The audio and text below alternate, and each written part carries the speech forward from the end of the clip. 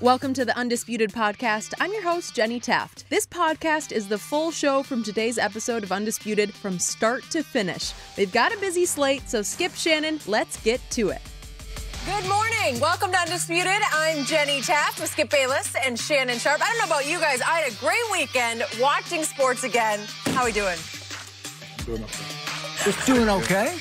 Yeah, how you doing? Well, allow me to wish a happy birthday to one Tom Brady who turns 43 years young today. But that birthday pales in comparison to the birthday of August 3rd, the one everybody is talking about. Happy birthday, Ernestine. Happy birthday, Ernestine. I don't know about that other guy. Happy birthday, Ernestine! She's even younger than Tom Brady today. Happy birthday, Ernestine. Way you are. You right good? about that. Yeah, I'm real good. Yeah, I bet you are real good. You're a little quiet, Shannon. I ain't got today. nothing to say. Huh. Nothing to say. Might be a long show for you. Uh, we do have to talk to about what we saw over the weekend, a packed weekend of NBA. Let's talk about this one. While Kawhi and the Clippers dismantled the Pelicans on Saturday afternoon, LeBron and the Lakers fell to the Raptors later that night, 107-92. Kyle Lowry dropped 33 points in Toronto's bubble debut, while Los Angeles shot a season-low 35% from the field. LeBron scored 20 points, but Anthony Davis only had 14 after scoring 34 against the Clippers on Thursday. Shannon, how concerned are you about your Lakers? Skip, I'm really not concerned at all. Um, I, I think it's look, they beat the they beat the Clippers. Uh, and they shot the ball poorly against the Clippers, Skip. They was under 40%, and they still found a way to win that ball game. This was the lowest poor shooting ball game that they had all year. They were 35%. Skip, they're just not knocking down shots. Eventually, that's going to change. They shot left. They're down uh, in the first two games. They're shooting 11% lower than what they shot during the regular season before the break happened. Skip, they're shooting 8% lower from the three-point line after the break than what they did before the break. It's just a matter of them making shots. And it's going to come because you see everybody else starting to heat up from the three-point line. You see the Clippers earlier, Skip, they seemed like they couldn't miss. They had 16 threes at the half. Ended up breaking a team record with 25. We see the Rockets now. We know the Rockets are going to get up a bunch of threes. we see the Celtics got up a bunch of threes and made a bunch of threes. Portland with that dynamic dual backcourt, they got they can make threes. I just believe it's just a matter of time before the Lakers start to make these open shots, and then things will look a lot different. So Skip, that's all it come it comes down to this. Because if you look at LeBron's numbers as far as assists, Skip, yeah, they're down, but he's averaging more potential assists after the break than what he were before the break. It's just a matter, as Doc Rivers once coined the phrase, it's a make or miss league. And when you're making shot, everything is, oh man, look at them, they're looking well. And when you miss shot, things are not going so well. So I believe once they start to knock down a few of these shots, uh, unfortunately, the Jazz, you got to feel this brunt tonight. So uh, we couldn't do it to Clippers, even though we won that game. Toronto, Skip, the thing is what people don't realize about Toronto, they're more than Kawhi. Remember, Skip, they were 17 and 5 in which games Kawhi Leonard didn't play. Now, I'm not saying they were a better team, but it just goes to show you Nick Nurse can get these guys to play. They moved the ball. Kyle Lowry, P- uh, uh, Siakam, they were all stars. OG is starting to come around. So they got a very good team. VanVleet is better than people think, Skip. He can step down, he can knock down big shots. He was a four-year starter, if I'm not mistaken, at, uh, uh, a four-year uh, Letterman at Wichita State. So we know what he represents. So this is a very good team. They're second in the East for a reason. I mean, think about the teams they're in front of. Miami Heat, they in front of them. Boston, they're in front of them. Philly, they're in front of them. They're right behind the Milwaukee Bucks. So this is a very good team. But what happened early on, they let Kyle Lowry get going. Skip, he had 33, but he had 14 rebounds. He's a tough, gritty little player mm-hmm. because, and he does, he's not flashy. So he's not going to get the praise and the adulation like a Steph or Dame Lillard, Harden, Russ, these other point guards. But he's solid. He's solid. Don't you worry your pretty little head. Don't you you get all these little scenarios floating around in your head. Mm. Because whatever you think is going to happen, I see you key, key, keying up under your breath. Mm-hmm. But we got something for you tonight. Mm. And you sound like the fifth horseman in LeBron's inner circle. It sounds like you just got counseled by Maverick Carter, Rich Paul. Why don't you say this? Or you could say this. Or you could defend yourself with this. You watched the game. You saw what happened. I did, but I'm not sure anybody else did, and you apparently did not. You must have turned your TV off early in the fourth quarter because did. LeBron James, once again, he owns the first two minutes of every fourth quarter, but But unfortunately, they, they play the rest of the game. You see, hit the threes. Yeah, he hit a couple of threes, and I thought, well, here we go. Yep. First two threes of the game. I thought, well, and I expected him after three quarters to change his sneakers again, the way he did against the Clippers. He had those red things Red, on, yeah. and they clash with purple and gold. It's not a good look for me. It just jars me. And I thought, well, he'll change. Maybe he'll put some J's on. No. Maybe, maybe he'll catch No, we fire. don't do that. Maybe he'll go Jordan fourth quarter, but he didn't. Skip, we have our own cooking appliances. You don't use somebody else's cooking appliances. Okay. You got your own. Here's my problem. I don't know why everybody continues to give these two great players a pass for what they do not do down the stretch of games. I am not going to let LeBron James and Anthony Davis off the hook yet again. You tell me he is still, LeBron, the best player on the planet. I saw what ESPN ranked the bubble players, and Yeah. he was number one. Wasn't AD like three or four on Yeah, the AD list? AD was I think top was five. three. Yeah. Okay. So you got two top fives, including the top one. And look what happened again down the stretch against a good team, but not a great team. And again, I, I get what you're saying. That team has grit and toughness and blah, blah, blah, but they, they don't have Kawhi Leonard anymore, so they're not quite as good as they were a year ago. So what happened? LeBron hit his second three in the fourth quarter, and all of a sudden, with 10-23 left in the game, still a lot of time, mm-hmm. the Lakers forge ahead 76 to 72. Okay, so you're up four in the bubble against Toronto. You're mm-hmm. better than Toronto. Shannon Sharpe thinks you're better than Toronto. Shouldn't you close that deal? Shouldn't you apply the pressure to them as opposed to them just suffocating you? Isn't that have, haven't we talked and talked about how much better on defense the Lakers are this year? Yeah. And I, in fact, I sent out a tweet the other day, and I- I, I just said LeBron is playing so hard on defense. He is giving so much effort as he did at the end of the Clippers game against Kawhi and then Paul George guarded both of them on the last mm-hmm. possession. That it's inspiring his whole team to play much better team defense. Okay, so can Toronto defend? Yes, they can defend. Yes, they can. Were you stuck down the stretch trying to play Kuzma, who I believe is your closer, but you have a defensive mismatch because he's six eight and he's trying to guard six foot one Kyle Lowry, and he's just having a hard time. Yeah, he can't stay in so, front of so him. he commits. The Lakers committed four fouls in the fourth, but I think he had 3 Mm-hmm. and he just can't. He can't deal with it. Mm-hmm. So Kyle Lowry makes some shots. He makes two big threes. VanVleet makes a big three, and all of a sudden, guess what happens to the two top five players? They lose the rest of the game 35 to 16. Mm-hmm. I want you to let that sink in. Last 10 23 of the game, they get outscored 35 to 16 by the Toronto mm-hmm. Raptors. That's not good. That's a bad sign. That's something that should make Shannon Sharpe say, Yeah, I'm a little worried about it, but no, you got no worry. I don't. 35 to 16? That's that's a, a, a nine, but you you get outscored by 19 points over the last Well, they were 10 they, and a half minutes. Look, Skip, they were outstanding in the first half. They gave up 43 points in the first half, and I thought their defense in the first half was suffocating.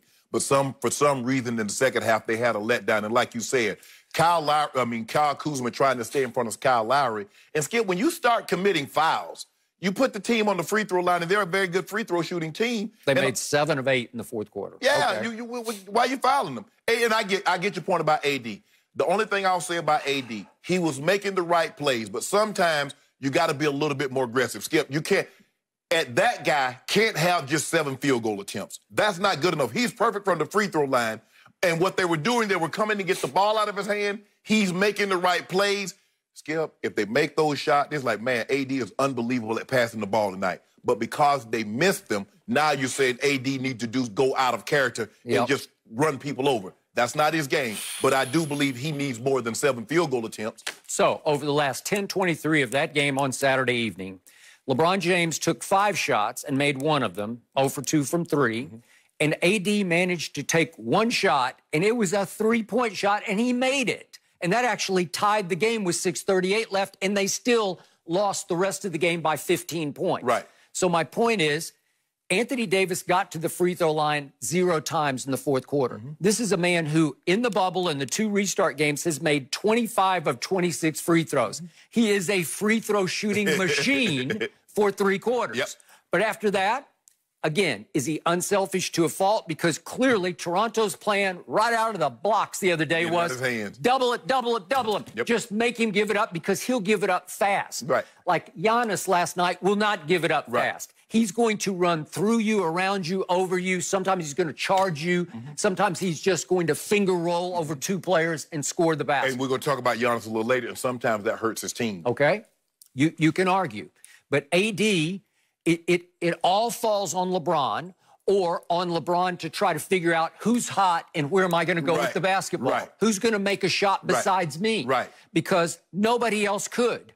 And then Alex Caruso, the Caruso that you rave about and, and Laker Nation rants and raves about, he commits three turnovers down the stretch. Okay, that that won't work. Right. He he had three fouls. It, it won't work. He he's not that good. Right. In those moments, he wasn't stellar. He Right. he didn't make all the little big plays that turned the tide in this game. Because to me, to lose over the last 10, 10 23 by 19 points is a really bad sign, even early in the restart. But Skip, you have to give them credit though. But you have to be impressed with the way they're playing defense. Um, LeBron, Well, I guess so until the fourth quarter. they had a lull. But think about what the Clippers did the next, uh, uh, the, the second game, as opposed to how the Lakers made them look. Now, Paul George has been unbelievable. I mean, Paul George has been out of his mind shooting the three skip. I mean, and what we saw on- from him on Saturday was ridiculous. I mean, he's stepping back, he's coming down wa- and, and pulling up from the, uh, uh, the three point line. I mean, he's just been unbelievable. Kawhi was great, but Paul George, what he did, it really got him going early. Patrick Beverley couldn't miss from the three point line. And Skip, sometimes when a team is shooting the three point ball like that, Skip, you just say, okay, they got us. We we get you. Hey, we on to the next one. They, a team makes 16 or 24 threes in the first first half. You're not winning that game, Skip. And by the way, the Pelicans flat out quit. Yeah, yeah. They just said, we're done. Yeah, yeah. You can have it. We'll watch. We won't get back that on was- defense. Th- They trailed by 42 late in the third quarter. That- and by the way, did the Clippers have any hangover from barely losing to the Lakers? No. I told you, moral victory for the Clippers, and they used it as a springboard right into the next game. Still no Lou Will. What's your nickname for him? Lemon pepper Lou. Lemon Pepper Lou. there's still no Lemon Pepper, and there's still no Trez, as right. in Montrezl Harrell. And yet they went out against a Pelican team that I had high hopes for in the restart. And no, and Adam Silver's probably having second thoughts. I should have left the Pelicans butt home. Maybe. I should have. Just left them home because Skip, this has been a nightmare for them. I mean, they had an opportunity to win the game, and, and uh, uh, who they play the who they play opening night in the match. They, they should have won that game. That was the game they had in hand, Skip. They really should have should have won that game. play Utah.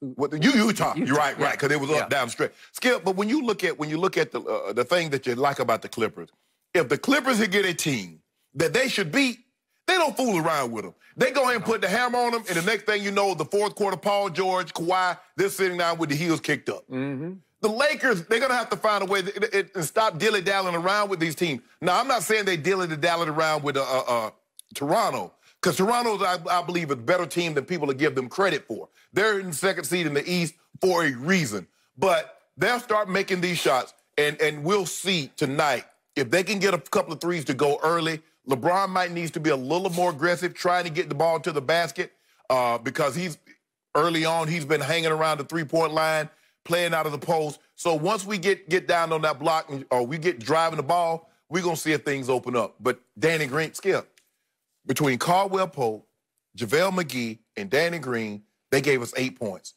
You cannot have your bench give you 50 and then the starters give you what they gave you. That's unacceptable. Mm. In any situation, regardless of who you play. Yes, Toronto is good, but Toronto's not that good. That three starters give you eight points between the two, the three of them. Mm.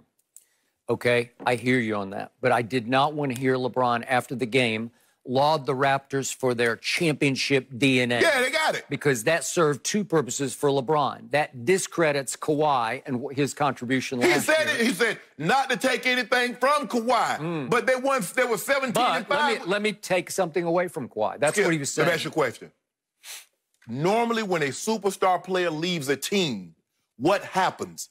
When LeBron left the Cavaliers, what happened? When LeBron left the Miami Heat, even with D Wade and Bosh there for a little while, what happened? Mm. Kawhi Leonard leaves them, and they're still the number two seed in the East. If I'm not mistaken, they were the number two seed last year in the East. Mm. So you can understand what LeBron is saying. Let's not minimize who they are and what they represent. You like their chances to win it all?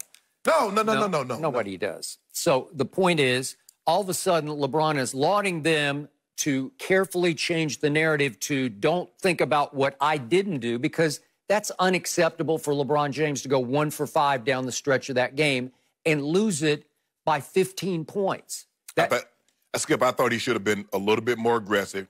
Um, free throws, he's 4 7. They, they were 24 33. That that Skip, that gets you beat. Those are, I mean, you can't be, you can't be 24 33. You can't miss nine free. That, that's nine free points that you just gave up. Okay. So what do, what have I always said about Anthony Davis? I don't trust his big picture intangibles. I don't know if he's that guy to change your life, to take over games, because he never did. Remember, he had a, a way sub 500 in New Orleans, mm-hmm. so he couldn't carry them into right. prominence by himself. Great. So, especially in fourth quarters, AD to me stands for all done because he's all done by the fourth quarter. He's, well, let me finish. Look, look, at the four fourth quarters against the Clippers so far this year. Just nothing. Look, look what he's done. He's he shot a grand total in four fourth quarters of two free throws. He made them both because he's right. I, he's automatic. Right. Okay, but two free throws in in four fourth quarters is completely unacceptable no. for that guy. He scored a grand total of 10 fourth quarter points against the Clippers. 10.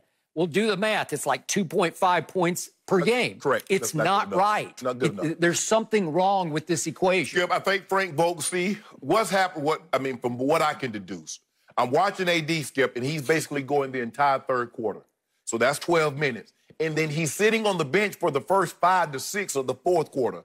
Well, maybe you might have to give AD a break in the third quarter. Maybe. And then you but bring him is, back at the start of the he fourth. has been Mr. Third Quarter. Yes. So are you riding him in the third quarter because you don't trust him in the fourth? Well, because Skip, he kept us in the ball game. Without AD being as spectacular as he was opening night, mm-hmm. we're not beating the Clippers because the Clippers had started to slip away from us. They was up by double digits. And AD goes bang, bang, bang. And, he, and, and I think, if I'm not mistaken, we're down one at the start of the fourth quarter. Maybe we're tied. So we need it. And, and, and Frank Vogel said, the reason why we kept him in the entire game, he had the hot hand. Mm-hmm. He kept us in the ball game. But if you notice, Skip, LeBron, they're trying to get LeBron somewhere between 16 to 18 minutes in the 1st mm-hmm. half, 16 to 18 minutes. So they're trying to keep his minutes around 35 or below. That that seems to me where they're heading at. And they're trying to get AD. If AD, they can keep AD under 37 minutes, they're, they're good with that. But AD is having to play because LeBron comes out with about, mm, plays like the first five minutes of the third quarter and then he comes out, and then he'll come back in with mm-hmm. about two mm-hmm. to three minutes left. Okay. Uh, with that being said, Skip, you might have to switch it up. You might have to take AD and say, AD, I know I've been riding you for 12 minutes in the third.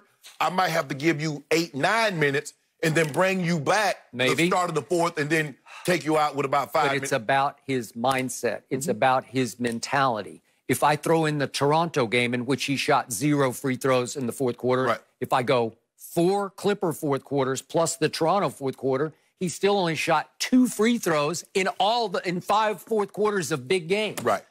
That's just wrong. Well, this is a man again who, at the bubble so far in two restart games, is 25 of 26 from the free throw yeah. line. You you got to force the action.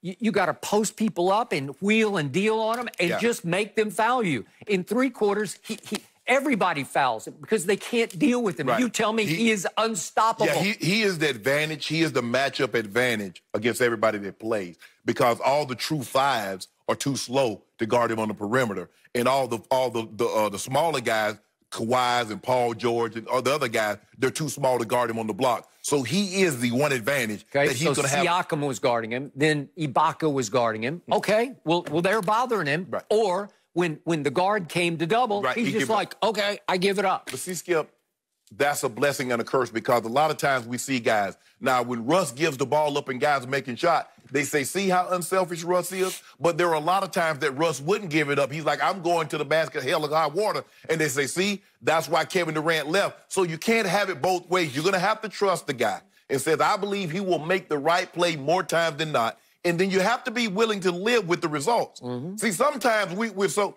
well. He didn't make it, so that was the wrong play. No, no, no. Mm. make the right play, live with the results. That's what you got to do. Mm. I believe in his heart of hearts, Shannon Sharpe lost a little trust in his Lakers on Saturday. That's what I believe. All I know is that we're going to win this game right here. And guess what, Skip? What? We're the Western Conference number one seed. Run tell that. Mm. Then what you going to do? I don't know what the spread is on the game tonight because I did not look. It doesn't I did matter. not care, but I'll take it for a case. Don't even matter what I'll the take spread. It. No, no, no, no, no, no. Okay. I think it's a Utah. Utah no, at home. Guts. You are Utah at home. Utah at home. Utah at home. Nobody's yeah, at home. Yeah, yeah, yeah, yeah, We can see their virtual fans. They play your crowd. They play yeah. your crowd noise and everything. Yeah. Okay. All right. No mercy.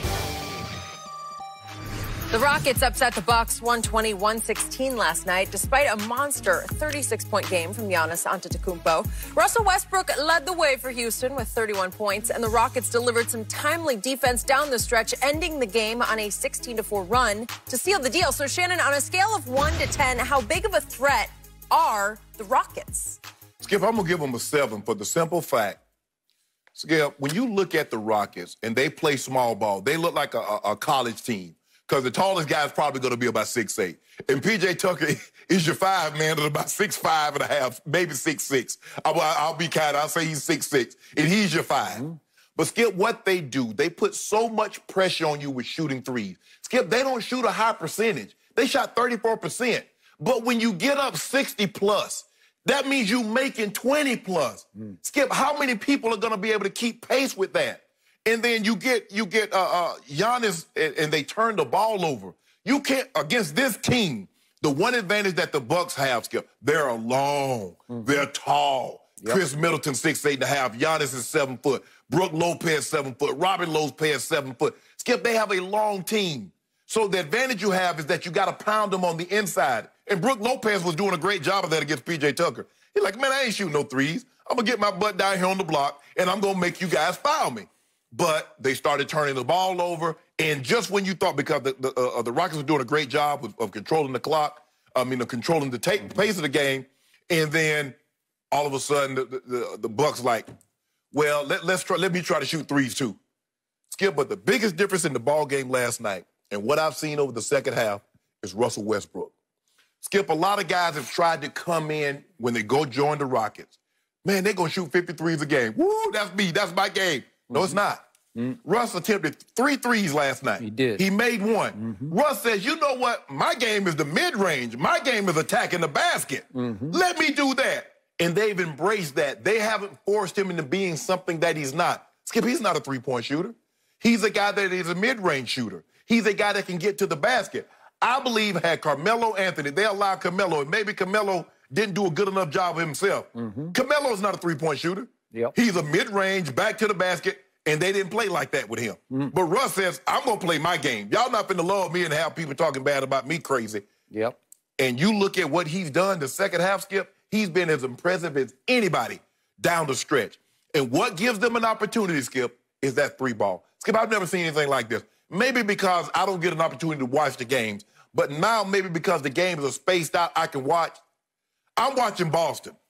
Boston's up 24 points, Skip, and in five minutes, they're down five. Yep. Because of the three-point ball. Mm-hmm. It seems like Dame C.J. Dane and, and, and, yep. and Gary Trent junior Mm-hmm. He couldn't miss. Nope. And now with that, with that three-point ball, and because Skip, they got up 61 three-point attempts in regulation. I mean, 21. Skip, you make and that's going to be that's their form, that's their blueprint, Skip. They need to make somewhere between 15 and 20, 22, 23 threes.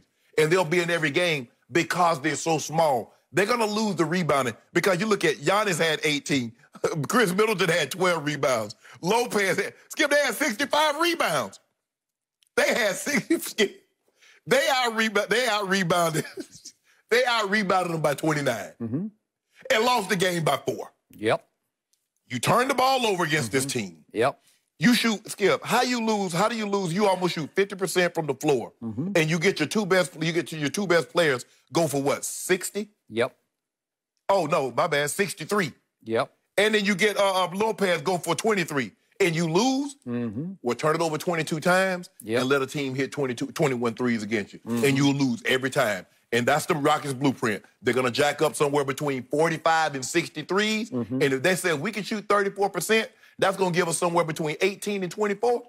Y'all ain't beating us. Mm.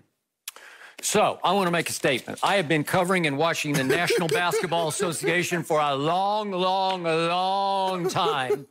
I have never, ever seen anything like Haven't these Houston Rockets. Nope. I have never, ever seen a game won the way that game was won last night. And back to Jenny's question, I was bullish on the Rockets back in December and Yeah. January and February, back in the good old days pre pandemic. And now I think I've gone a little higher. We used to do this question back in the good old days, and I think I would give them a six as a threat. right. I'm up to an eight You okay? You eight. You're a little better than I am. because of their defensive grit and mental toughness. I'm mm-hmm. talking about defensive because they mess you up. They steal your basketball. They deflect your passes. They get in your way. They are thorns in your side. They are the lice in your hair. You just can't seem to get a clean possession against these guys because James and Russ will get their hands on your Yeah. basketball. James Harden, the stat of the night, the unsung, uh, uh, sort of underreported stat of the night, he had six steals last night. That's what turned the tide mm-hmm. in this game. So back to your point. This team got out rebounded by 29. this team missed 40 three point shots, and about 35 of them were what I call wide open threes. PJ Tucker like just what just corner threes where you're just and it's the simplest three point shot. It's short corner, shortest. too. It's the short corner three point. And PJ, according to ESPN, came out at halftime and just kept shooting it and shooting it until he finally got frustrated with himself at halftime Yeah. and sat down and said, I'm I just keep I'm short, short, short from the short corner. And yet he came right out of halftime and made his first two. And then later in the game, he made another crucial Yep. one. So again, he did not shoot it very well. James Harden didn't shoot it well. No. So you, you James look- kind of got in foul trouble, which kind of threw him off. He had those four, four quick ones. Yeah, but you know, look what Giannis did to James in their head-to-head matchup. Giannis goes 36 and 18. James had 24 points, but he did it most most of his damage from the free, Free throw line, yes. Okay, so if I give you those numbers, if I had called you after the game and for whatever reason you had not watched the game, I said, "Hey Shay, guess what happened? they got out rebounded by 29 and they missed 43." What Giannis do? Yeah. And he had 36 and 18. What Oh, would you say? oh, they blew him out. It's a blowout. And, and the first five minutes of this game felt like a blowout to me. And I thought, ah, this is going to get ugly. Right. Nope. They kept scratching and they kept clawing and they f- battled back into the game. And then they just kept turning up the heat on the Bucks. The Bucks would go down there and just bully them. Uh, of all people, Brook Lopez, who's the nicest guy in the league, he just bullying them He in the like fourth Shaq. quarter. He was looking like Yeah, Shaq yeah. Hey, just give me the ball. I'll just wheel and deal. And Yep. it's it's not like he's going to tear the rim down. He's he's making little little hook shot, little two foot hook shots. And uh, you know what? I'm yelling at D'Antoni because he's got Tyson Chandler on his bench, and I love Tyson Chandler. I know he's 37 years of age in his 19th season. Right. But Tyson Chandler is seven feet one inches tall, Right. and I thought. Maybe give him three or four minutes just to disrupt the Bucks a little Nope. bit, just to make Brook Lopez say, "Uh oh, I guess I got to kick it back out." Skip, the way I look at it, looking at D'Antoni, he thinks anybody that comes in there that can't shoot three disrupts their offense. That's why he stayed with it. Because I'm saying the exact same thing. I'm like, Skip, they got killed on the offensive glass 17 to 6. What? I mean, it's like Giannis was playing volleyball. He tipped it to Lopez. Lopez tipped it to Giannis. Giannis tipped it to Middleton. Middleton tipped it. I'm like, dude, I mean, y'all got to do something. You got to do something. And all they did was they kept stealing the ball. When have you ever heard of a Mike D'Antoni team that focused on the defensive end? Mm-hmm. I don't know why. I don't know who's driving this train. I don't know if it's James in the locker room. I don't know if it's Russ, but they are both committed on the defensive end. L- listen, James made a couple plays on on sort of semi breaks mm-hmm. on Giannis Yeah. where, where he got in his way. Right. He, he bodied him up and, and beat him to a spot and made him switch hands. And mm-hmm. then all of a sudden the basketball is loose and it's up Yeah. in the air. So look what happened down the stretch. Do you realize they fell behind by eight points with three minutes left? Yep.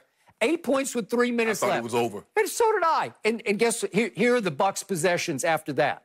They go uh, Middleton turnover. Then they go George Hill turnover. Then they go Giannis turnover. Then Middleton misses a three. Then they miss another three. then all of a sudden Brook Lopez gets a little lay in, and then Giannis gets a little finger roll lay in. But then here we go again with Giannis turnover, and then at the end, Khris Middleton missed two threes. And the Rockets screwed up the one possession because they, they had a foul to give, and they should have just fouled him, and Right. they, they let him just just walk right into a wide open three, but he missed it. Right. Which, by the way, quick comment on the other team, the Beast of the East. I, I keep telling you, am I sold on the? No, I'm not Right. sold on their overall team mentality. I know they're missing little Bledsoe and Connaughton for what it's worth, but still, am I trusting this? Because listen, th- there's a really good shooter on the other team. You know who he is. Yeah. And and he ain't there either. Oh, Gordon. Yeah. Yeah, yeah. But Eric Skip, Gordon. I mean, I mean, the Bucks. Nine, they shot 35 threes and made 9 Mm-hmm. Skip, that, So, so, but look what they got outscored because Mm-hmm. the, still the the visiting team, or I guess no, that were the home team. I don't know what they were, but the Rockets were home. What? Yeah, maybe they were, but the Rockets made twenty one. Yeah. So they outscored them by twelve. They they made twelve 12 more threes yeah, just because they took points. so many. And remember, that was the most threes attempted, a- tied for the most Right. in a regular season game that didn't go overtime Right. in history. Right. Okay. And I saw another stat, by the way, where in the history of the NBA, a team that got out rebounded by that many and shot under 40% has never won a game. It's been it's been done 177 times and all 177 lost the game. Let that sink Well, in. Yeah. Well, think about it. Th- This is impossible how they did this. You get out rebounded by 29. You shoot less than 40% from the floor. You shoot less than 35% from the three. Yeah. And you still win the game in which you give up a 36 and 18, a 27 and 12, and a 23 and 12 from their three best players. That's what you gave up, and you still won the game. Hmm, Interesting. So, guess what happened on Friday night? It was Houston versus Dallas. Great matchup, big confrontation between two in state rivals. And Dallas went up seven points with what, 40 seconds left, 43 seconds left. And here came the Rockets again. They would not, they refused to lose. So it came down to James Harden having to miss a last second free throw to even give them a chance to force mm-hmm. overtime. I have never seen this before. He obviously has such pinpoint accuracy from the free throw line. If we could see this, he aimed to, sh- to shoot it softly off the left side of the rim, which I've never seen because usually you try to bang it off the front or, right. or bang it off the backboard. And I think the thing is, Skip, everybody was expecting him to do what you just That- thought, that is banging off the backboard. And all of a sudden, Covington snakes back door and goes all the way around and has a pretty wide open, easy little tip in Yeah. to force overtime. right. And then James scored seven in overtime, and here they went. Right. And here they here well. James got it started, Skip, because when they went down, I mean, uh, someone hit a three. I think it might have been uh, Doncic hit a 3 Mm-hmm. It might have been Doncic or it might have been uh, Hardaway Jr. But the, no, Kleber. Kleber hit a corner he, three. he did. And James- Doncic is not making threes. Go ahead. James Harden walks up and hit a timeline. Skip, he got two bomb. guys in his brace. It was a bomb. I'm like, James, what are you doing? You don't need. Oh, that's a good shot, James. Mm-hmm. And that's Skip. That's what they can do. Mm-hmm. The three ball, they put so much pressure on you. They Yep. keep so much pressure on you because Russ is going to force you to retreat, and he's either going to go by you or he's going to pull up with a mid range. Well, James either going to euro step you, lay it up, you foul him, or he's going to walk into a three. So Mm. you're so afraid of him. Russ constantly attacks, and he's getting into the lane. He's kicking it to uh, um, PJ, or Mm-hmm. he's kicking it. House has been unbelievable too, Skip. Danuel House. He he he can't miss.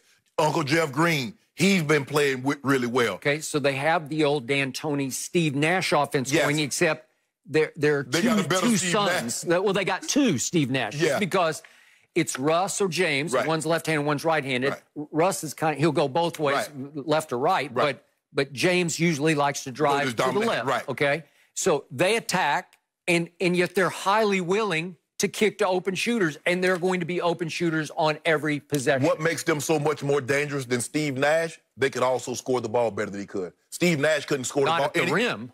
At the James Harden is Skip. James Harden is averaging 35.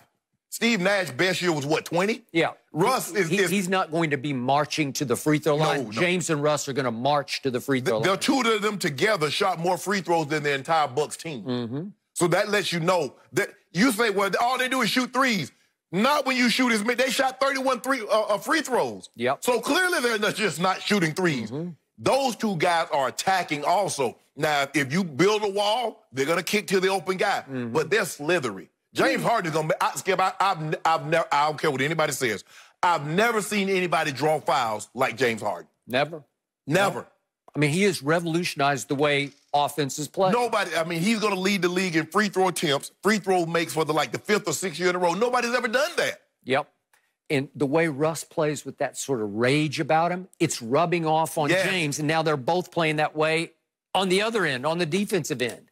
What? When you thought no one really wanted to play with Russ, or no one could play with James, and no one could wanted to play with James, or no one could play with Russ, these two seem to have found a way to play with each other in perfect harmony. They, Skip, I, I, I, was, I, was, I was, I was skeptical. I was one of the were. ones that was skeptical because I'm like, well, both of the guys need the ball, but it worked and it's worked really well. I don't know who's going to draw them in the first round, but I wouldn't be be that who. nope. Yeah. Different. No, it's working right no. now. I like the word slithery. That's a good way to describe it. Uh, we'll have to see how it continues. I want to uh, hit pause on the NBA right now and talk a little bit about the Cowboys because they topped Forbes magazine's list of most valuable sports teams in the world with a value of 5.5 billion. Not bad when you consider Jerry Jones bought the team for 150 million in 1989. Not only did the Cowboys top the list for the fifth consecutive year, but they were also the only NFL team to make the top five. So, Shannon, with all this money floating around, is this a good or bad thing for Dak Prescott? It's not anything. It's frustrating to Dak, Skip, because he sees uh, uh, a franchise worth five and a half billion. He sees Jerry Jones' net worth is about eight billion, which is a bill, three billion has happened in the last decade. So Dak is like, Skip, this is how it goes. And I was ex- explaining this to uh, Steve and I were talking to my my crack research. We the mm-hmm. best team, we the best duo. Steve they, Owens, who won a Heisman. They, they, they keep on talking about Shaq, yeah. Kobe, and Kareem Magic. Mm-hmm. I think that Steve Owens and Shannon Sharpe might be right there with them. Really? Yeah, best duo right there, right there with them. I know every word that comes out of your mouth sounds like Steve told you to say that. So right? Skip, I, I'm looking at it like this. So let's just say, for the sake of argument, Dak, Dak Prescott is one of Jerry's sons, and he watched his other sons, Amari Cooper uh, Zeke Elliott, Demarcus Lawrence, Jaylon Smith. He saw all these other guys get elaborate birthday parties. Jerry Jones spared no expense. And, they, and he said, Dak, when your birthday come, I'm going to take care of you too. And then they like, oh, it's my birthday. Finally, after four years. Like, Dak's like, I must have been born on leap year because I see everybody else signing every year. But anyway, he says, "It's my birthday. And instead of saying, Dak, we're going to give you this big elaborate birthday party, mm-hmm. they say, Dak, we're going to have to cut back on your birthday party. Yep. Is that okay with you? Dak said, well, wait a minute. You told me if I waited my turn, I was going to get what was rightfully mine. And so Dak is looking at like, Skip, you gave Amari top dollar. You gave Demarcus Lawrence top dollar. You gave Zeke Elliott top dollar. And not one time did you ask them guys to give you a hometown discount. Before we even start negotiating, you says, uh, I'm gonna need you to give me a haircut. Mm. And Dak says, no. See, that's what's frustrating, Skip. It's like I, I tell you, tell my kids, Skip. The kid used to ask me, "Well, Daddy, can I buy? Can I get this?" I like, Daddy ain't got no money. They look at me like, Daddy, stop playing. Jerry, Dak is looking at Jerry. Skip, Skip, you, you know, Dak read the paper. Mm. He's like, hold on, Jerry, you worth how much? Eight billion? The hmm. Cowboys worth 5.5 billion more than any other sports franchise in all the world. And you haggling me after you've given everybody else what they've asked for and more. Amari Cooper got 20 minutes. Skip, you know good and well. Amari Cooper is not a top five receiver. He might be barely in the top 10, but he's paid, he's compensated. D Law is compensated like he's like he's Aaron Donald. And Dak is like, wait a minute. Skip, you got the budget. It seems like Jerry budgeted for everybody else except Dak Prescott. And Skip, the salary cap is not tied to the value of the franchise. It's not like, uh, uh, uh, I guess, in soccer, how much revenue you generate, that's how much money you can spend. It's not like that in football. Everybody's under the same cap, 198 point what two million dollar million dollars this year. Mm-hmm. So Dak, I, and I understand you looking at it like, man, he got all this money. He got a 200 quarter of a billion dollar yacht. He got this. He got that but it's not tied to the salary cap. It's just frustrating that Dak says everybody else I've watched patiently sat back, biding my time, and now here comes my time to get paid, mm. and it's a no go. I got to do the franchise tag. Mm. So it's frustrating. So now it's my turn to wipe all the cowboy hate off my face. I just got I, got, I need windshield wipers over here to, to, to rid myself of the cowboy hate spewed across the table. I like that. You know I like that. You hate my team and you want my team's salary cap wrecked by Dak Prescott. So back to the question. Good thing, bad thing for Dak that this team is ranked number one by Forbes in the world, the most valuable team for five straight years. Five. No team in the United States had ever been ranked number one until Dallas broke through, the Dallas Cowboys, five years ago. And then they held the ranking five straight years. They go compete on it. They're worth $5.5 billion. And to me, this should have been, could still be, a great thing for Dak Prescott. How? This team isn't just America's team, it is the world's team. Yeah. And Dak Prescott isn't just this quarterback or that quarterback. He's the quarterback. Mm-hmm. He's playing the glamour position for the glamour team. Correct. This is the Hollywood Cowboys. Hollywood, as in Central Hollywood in Dallas, Texas. Mm-hmm. I've never seen anything like it. We could talk the rest of this day and into tomorrow about why it happened and why it continues to feed off itself, but it does. And what it means is that you you can cash in as the Cowboy quarterback on all the off the field endorsements and appearances. You, you're up there in the Brady range. You're in the Mahomes range. In fact, you might even be above them in the ability to endorse and and to appear. You know how appearance fees work. Yeah. Dak Prescott can just name his price right mm-hmm. now.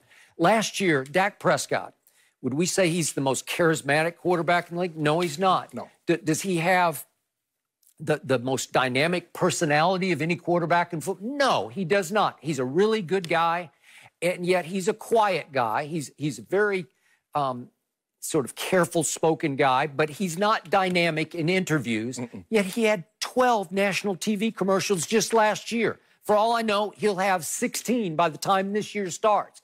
Everybody wants a little piece of this action because this is the biggest action in all of sports, not not just in the NFL. It's bigger than NBA power, it, bigger than baseball power. It's cowboy power. And Dak Prescott has the fame, at least by association, mm-hmm. of being the quarterback for this team. But unfortunately, his union gave up the right to a salary cap and a franchise tag. Yeah. That's the deal. And again, you could fight it, you could hold out against it, you could do a lot of things, Right. but they didn't. They caved right in. Remember, it was a very quiet story. When was it? During the pandemic. Right. It just kind of came and it went. Okay. That's the deal. Right. You got to live with it. So Jerry Jones can only pay X dollars to his players. Correct. I agree with you. He has somewhat overpaid some of his other lesser stars. Mm-hmm. But even Shannon Sharpe agreed with me that Jerry did make a fair, not Yeah. not an insulting offer, No, a was fair offer. Yeah, it was very It was 36 million with 80 guaranteed at signing. That's pretty great. And that would be far, far more. Remember, if if, if the biggest salary on the team's a little over 20 with DeMarcus With or Amari. Okay, so so that would have been far more. But but even the tag at 31.4, which he is now strapped with, Mm-hmm. Well, it's still more than 10 million more than any other player on the team. So it's still pretty great. Yeah, when I look at it, okay, I can assure you right now, um, the Ravens are budgeting for Lamar Jackson. It seems to me the Cowboys, they budget for everything. Jerry Jones says, you know what I want to do? I'm gonna go this is my thing alone. I'm gonna forgo, I'm gonna forgo all the licensing, licensing, the, the, the revenue sharing we do with that. I'm gonna do my own thing. Because I believe I can do it better. I think I can work harder. I think I can hustle harder than what you guys hustle. So I'm gonna do my own thing. You know, Jerry was the first one, Skip, when they had to deal with Reebok, when they had a deal, Jerry did his own thing with Nike You did. the NFL got so upset is that they said, you know what, we're gonna because we, we had a deal with Nike, a couple of other teams. They said we're gonna give Reebok the 10-year deal. Jerry said, oh, do what y'all want to do. I don't care. So Jerry struck a deal with Pe- go strike a deal with Pepsi. Everybody else have this uh, uh, the ticket. Jerry says, I'm gonna do my own ticket deal. So Skip, Jerry has always thought outside of the box, says I can do more alone than I can with the team, with the exception of the TV money. So Dak Prescott has said, well, hold on, Jerry. You over there printing money. Because not only do you own the Cowboys, you own Cowboy Stadium also. And you don't skip, they have like Final Four games there, they have national title games there, they have concerts there, they have roadie. Yeah! So, Jerry, you just not making money off football, and guess what? It's not state owned. So Jerry ain't got to split nothing. All the concession goes to Jerry. Mm. All the parking skip goes to Jerry. Okay. So Dak is looking at that like, well, hold on, Jerry. Mm. You got all this, bro. You even if you, Jerry, even if I've never live up to, I've never become Patrick Mahomes. I like to think that I've added some value to the franchise. I would like to think since I became the quarterback, the franchise has maybe gone up a couple hundred million dollars. Wouldn't you say, Skip, in the last four years? Okay, but he did budget for Dak Prescott. No, and you said he offered a fair deal. That, that, that, fair, fair, fair, fair. Whoa, whoa, whoa, whoa, whoa, whoa. Fair, fair.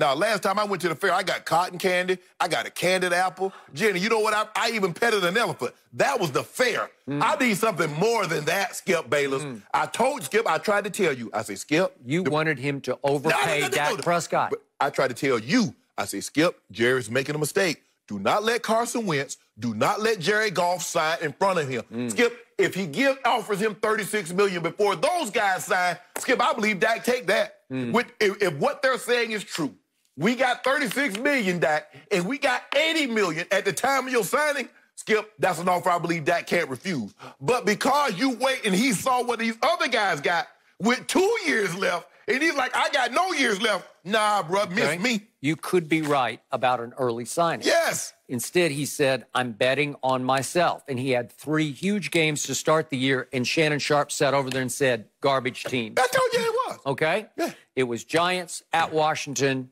Miami at home. Yeah. Garbage, garbage, garbage. Yeah. Right? They yeah. turned out to be garbage, yeah. except the Dolphins started to find themselves. They, they down the stretch. Yes, they did. Okay. So then the last 13 games, seven of them my partner across the table, a Hall of Famer, gave Dak Prescott F's. no, I gave him what he earned. I didn't give him to him. Okay. He earned them. Okay, so he earned F's from the Hall of Famer yeah. Shannon Sharpe. Seven out of the last 13. Yeah. That's more than half of them were F's. Mm-hmm. He did not make the Pro Bowl, and my team did not go to the playoffs. So his bargaining power fell a little bit in Jerry's eyes, where Jerry's saying, I don't know. I'm not really seeing Patrick Mahomes here. But Dak. Skip, when you go to the, and you love next level stats, when you look at big time throws, when you look at clutch throws, Dak Prescott is behind Russell Wilson and Patrick Mahomes. Okay, but if you look at record against good teams, uh, plus 500 teams, above 500, he's not been very good. Skip, I can't defend it. Skip, the Cowboys haven't been good against good teams since the mid 90s. Mm. So don't take that on Dak. Look at Tony Romo's record. Mm. See what Dak is saying, Skip. I've seen you pay other quarterbacks I've seen you pay other positions premium and not bad enough. Mm. But now you and Stephen Jones want to draw the line in the sand when it comes to me. Mm. I just need to know why. Okay.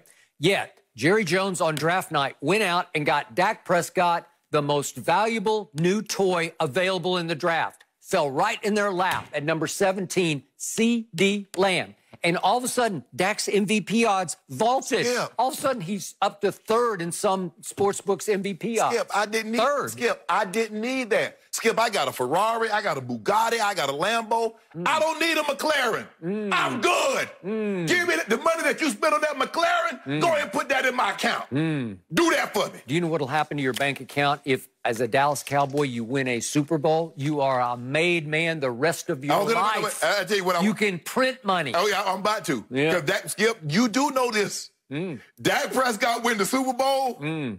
Oh, Patrick Mahomes gonna look like chicken feed. Cause Dak Prescott, uh, if he wanted, think about this, Skip. He wanted Patrick Mahomes' money without Patrick Mahomes' resume. Mm-hmm. So imagine if he gets something on his resume that Patrick Mahomes got, and he's free. Mm.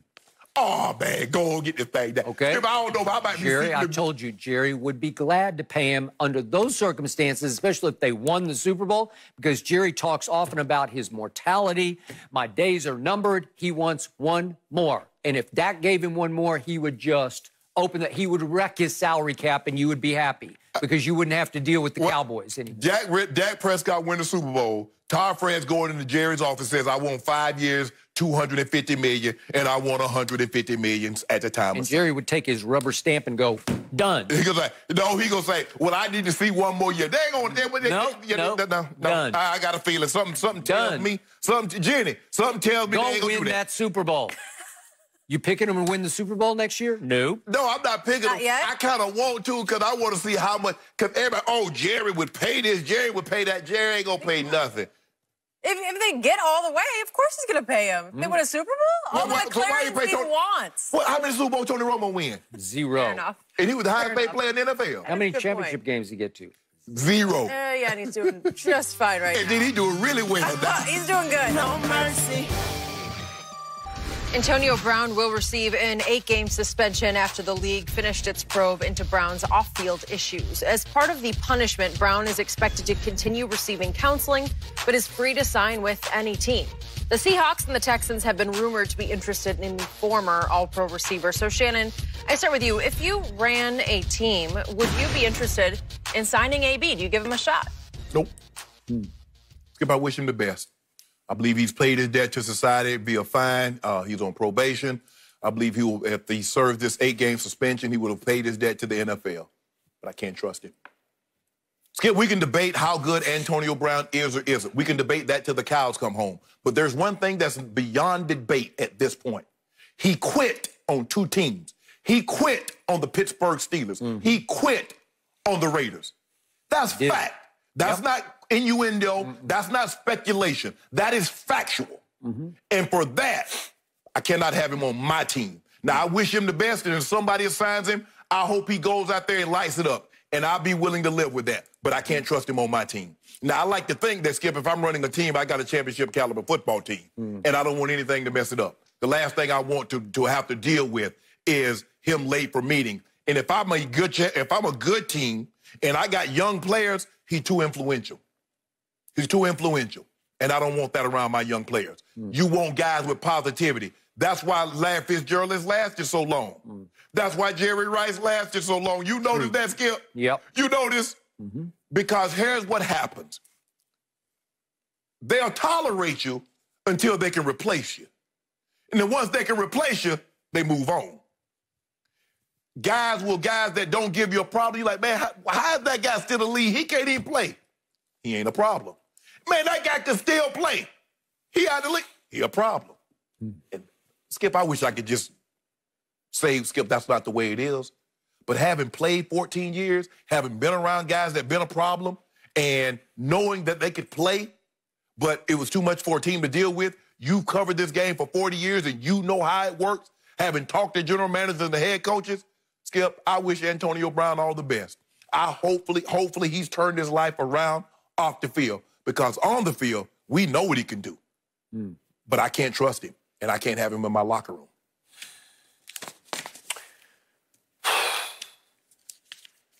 I highly respect everything you just said. I would take everything you just said to my bank. I'll go one cut deeper here. Obviously, he is now available to be signed. Out, he could sign him now, but he's mm-hmm. available to play after the 1st mm-hmm. eight games. So you could have him for half a season. Right. But I remind everybody, he still has a lawsuit pending, mm-hmm. hanging over his head, in which he was accused of sexual assault. And there was another very public accusation accusing him of sexual misconduct. So now that question will, will be brought to the desk of the owners of these teams because mm-hmm. somebody's going to have to sign off on Oh, it. Yeah. we want him not just in our locker room, but but under our our flag? You know, do we want him to represent our franchise? knowing you're gonna get blowback. That's the same mm-hmm. thing, Skip, Yep. when Andy Reid signed uh, Michael Vick. Mm-hmm. He knew that the fans, they're gonna be they're animal lovers out there. And he know they were gonna line up in full force to show their disapproval for what he's done. So as long as you know if you sign Antonio Brown, whomever it may be, mm-hmm. and it really needs to be a strong locker room, Skip, they must, must mm-hmm. have strong, strong leadership. And the quarterback must, must be the unquestioned leader. Yep. So what do we have? We have three of the top quarterbacks in this league, including the one, two quarterbacks in last week's NFL Top 100. 100 as voted by the players. All three campaigning to want to sign Antonio Brown. We have Lamar Jackson. We have Russ. uh, Russell Wilson. They were, they one, two in the voting, right? they are campaigning for different reasons for Antonio Brown because obviously, in Lamar's case, he grew up in the same neighborhood, and uh, Hollywood Brown is is a cousin of Antonio. So you have sort of kinship there. Mm-hmm. In Seattle, they need a third receiver, and, and Antonio has the capability of being the first receiver. Right. He is that still dynamic, I believe. And you have that 43 year old, happy birthday, Tom Brady, down in Tampa who has campaigned for him because he had him for a minute in Foxborough right. last year and it clicked, albeit in a game against the Miami Dolphins. Right. But it was, they are rivals. And again, he lit it up. Right. Four catches for 56 yards, touchdown. touchdown. So the point is, of all the locker rooms, I would think that could sort of handle Antonio, Tom Brady's locker room could, especially if Tom is signing off. I consider him one of, if not the greatest, certainly quarterback leader mm-hmm. in the mm-hmm. history of this league. But what did his coach say several months back? His new coach, Bruce Arians, said, I had him as a young player in Pittsburgh. I coached him, and I do not want him because he would not be a fit for our locker room, Thank said Bruce Arians. Thank you. Who saw him up close and personal, albeit before he was Antonio. He, he wasn't AB yet. So that lets you know mm-hmm. if he was like that, Skip, and he was Antonio Brown, what is he now as AB? And that's what Bruce Arians is saying. I had him, mm-hmm. and I didn't like the direction he, it was heading in. No, he did not. Skip, I believe now, now maybe Russ could, could, could deal with it because here's the thing, Skip. Antonio Brown had a stretch where he had, I think, six straight seasons, which he caught 100 balls. He's not catching 100 balls in Baltimore. So basically, I, I, don't think he's catching 100 for any of these really good teams. Because here's the thing, Skip. When you look at a situation, if you look at Baltimore's receivers, they're young or they're guys that were never superstar receivers. So it's okay. So there are going to be some games Lamar only throws the ball 20 times. Sure. Well, he's not going 20 for 20. Mm-mm. So now, okay, so Antonio Brown, you're going to be cool digging the safety out, cracking a linebacker, catching two passes for 24 yards. Mm-hmm. You're going to be okay happen. with that. It would happen. As long as you're winning, would you be okay? Because no. his track record is no, he would not. Because, Skip, if you look at the guy that's bickering back and forth, well, I'm better than you. Well, I'm better than you. I'm better than you. What is based on? Stats. Mm. Ain't nobody talking about, well, well, he did win more games than you. Mm. They don't care about that, Skip. Mm-hmm. Everybody said, all I want to do is win. But can I get 10 for a buck 52 touchdowns mm. in the process? Okay, let's throw him into the mix in Tampa right now. You have two Pro Bowl receivers split out. Let's put Antonio in the slot. I told you I like Scotty Miller, but I would love AB in the slot because remember, they lost Breshad Perriman, who once upon a time ran a 4 2 40. Mm-hmm. My only concern for the Bucks is they don't have one blazer. No. They don't have one one who can just threaten and take the top off right. the defense. No, that's not is more of a possession, you know. But he's just gonna go over the top of it. Yeah. Go, okay, we get that. But if you put AB in the slot with Gronk at tight end, or OJ. Howard at tight end, or Cameron Brate at tight end, man, you, you, would have explosion. You would have shiver me timbers, as right. the Pirates used to say. Yeah. And these these are the Pirates. Right. These are the man, Buccaneers. Chris Godwin and right? Mike Evans are probably going to lose their mind. Okay, because... they might because now you do only have one football, exactly. and it's, it's not like the NBA where you can join forces and then you score 29 and I'll score 28. and He can score 27. Right. It's not like no, that. No, no, no, no. No, because your catches are going to dwindle down yeah. to two or three a game. Exactly. They might be big ones, but. I think the thing that helps AB possibly potentially getting signed, Skip, we know now. AB is going to miss eight games. There's no more speculation. Is he going to be suspended four games? Yep. Six games? Okay. Is it going to be the entire season? We know it's eight. If we sign him, we're going to miss him the first half of the season. We'll have him the second half of the season. Okay. So now that that's cleared up, now teams have a better picture. Now Seattle, Baltimore, or teams that are interested mm-hmm. can seriously do some, say, okay, what do you think? You get the heads together. Mm-hmm. You're like, okay, what do you think? You think this guy's a fit? You think he can fit with DK Metcalf? He can fit with Lockett. He can fit mm-hmm. with some of these other guys in the locker room.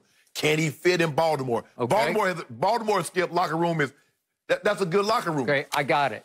Now to ownership. Now back to sexual assault lawsuit suit still pending. Mm-hmm. Let's go to Baltimore. Steve Bisciotti. What's on their track record? Ray Rice. Right. It, he went to hell and back over that one, mm-hmm. right? Mm-hmm. Do, do, you think he'd be a little squeamish about AB? He might be. Mm-hmm. Let's go to Seattle, now owned by the sister of Paul Allen, who passed away two years ago. Correct. Jody Allen now runs this operation. Mm-hmm. You think she'd love having AB on her side? I don't know about that. I'm not sure. How about the Glazer family in Tampa? Long ownership in the National Football League. I don't know if they would look the other way at this. I'm not Cowboys. sure. Cowboys decided. Okay, maybe. They took Greg Hardy. Yeah. I mean, Jerry has a track record. they, Sure. They've taken a lot of guys with checkered path. Because at the end of the day, Jerry says if you can catch, throw, or tackle, I forgive. I don't care about all the fans booing. Because Okay, guess what? but- They booing from inside, which means they paid to get in here. Okay, but as much respect as I have for AB's ability at this point in his career, I got Amari. Oh, you got better than. Oh, he, I got Oh, you got CD. I got CD. I think I'm good. Oh, yo, so CD better I, I than. AB. want- I, I, hey, there's only one football, and it, it just ain't going to stretch far enough to get AB in that. Mix. well, if I'm going, if you say you go on initials, I'm taking AB over CD. Really? Except I spell these initials out C E E D E E. So that trumps A B. I just can't skip. I, and I, like I said, I hope hope AB has turned his life around our field. So skip, I. I. I mean, trust is a big thing in, in pro sports. It is, and I just can't trust him. Know, knowing that he did that, Skip, and it all did it for to play out, Skip. I mean, you can hear about certain things, and I've heard things about how he was handling himself in Pittsburgh, but to watch it in Hard Knocks, everybody got an opportunity to see that, and then he put out his behavior on social media, so even people that weren't watching Hard Knocks could see him how he was behaving Yep. on his own social media post. Nah, I'm good. Okay, I'll sum this up by saying I I still believe Tom Brady had one more conversation with BA, as in Bruce Arians, coach. We we could do this. I I can. It'll be okay. I, I'm I'm close with him. It- It'll be cool. That's what he'll say. But they say, "Be uh, uh, Tom, you ain't close with them guys outside." No. Skip, you, you know how receivers are. It's already like, hold on, Chris Godwin made the list. I made the list. AB come in, cut these catches. I might be lower on the list than I were last year. I'm trying to move up the rankings, not slide down. No mercy. While Kawhi and the Clippers dismantled the Pelicans on Saturday afternoon, LeBron and the Lakers fell to the Raptors later that night, 107 92. Kyle Lowry dropped 33 points in Toronto's bubble debut, while Los Angeles shot a season low 35% from the field. LeBron scored 20 points, but Anthony Davis only had 14 after scoring 34 against the Clippers on Thursday. We're now joined by Fox NBA analyst Chris Broussard. Chris, should the Lakers be concerned after losing really that big to the Raptors?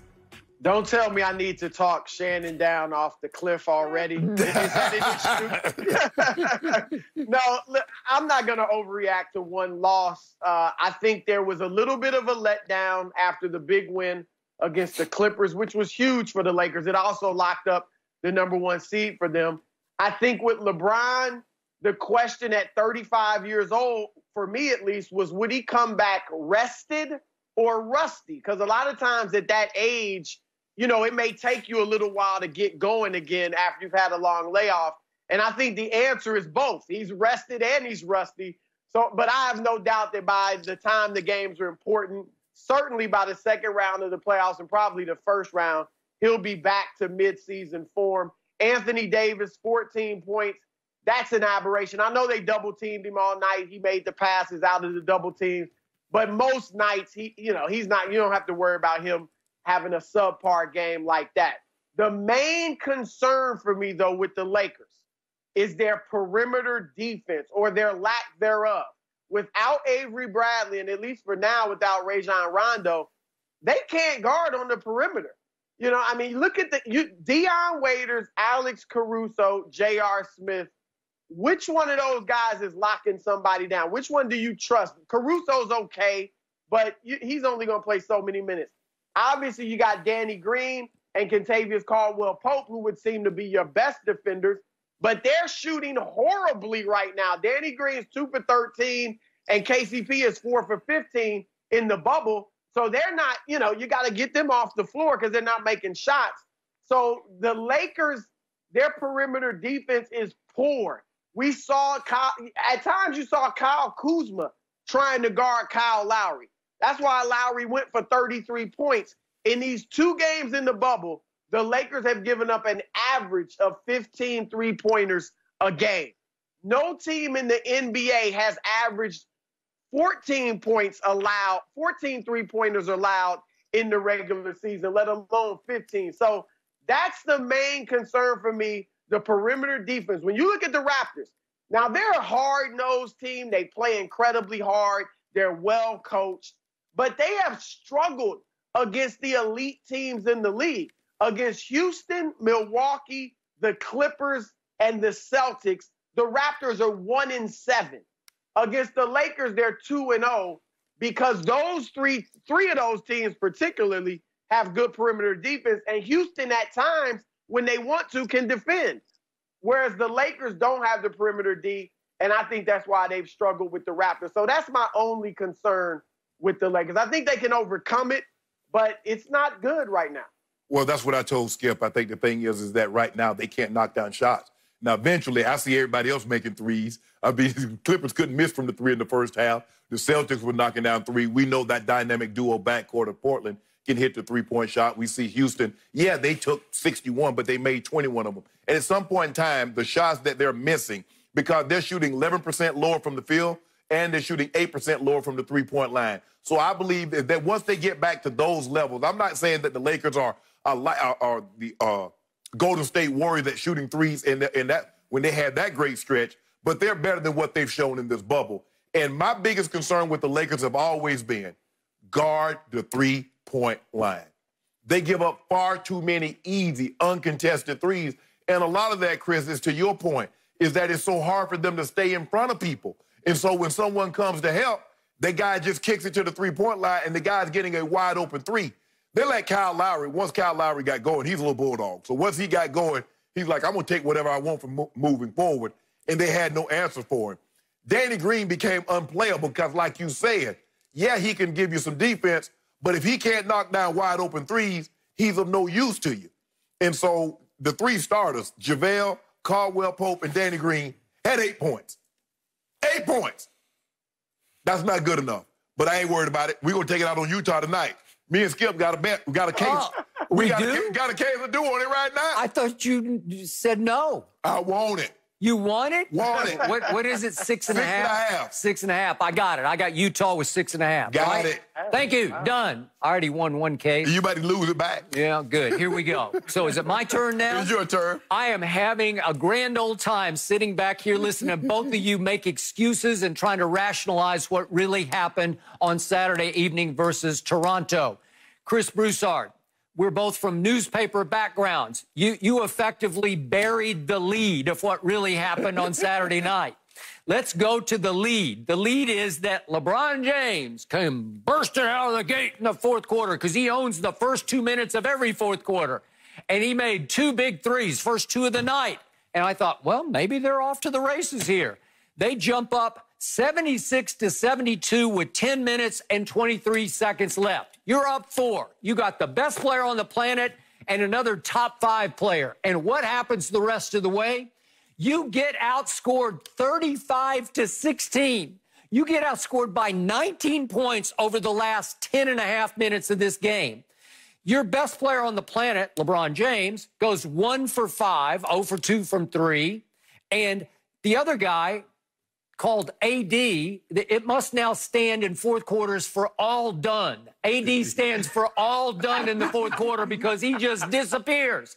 In four fourth quarters against the Clippers and now one against the Raptors, he just shrinks and disappears. I don't know what happens to him.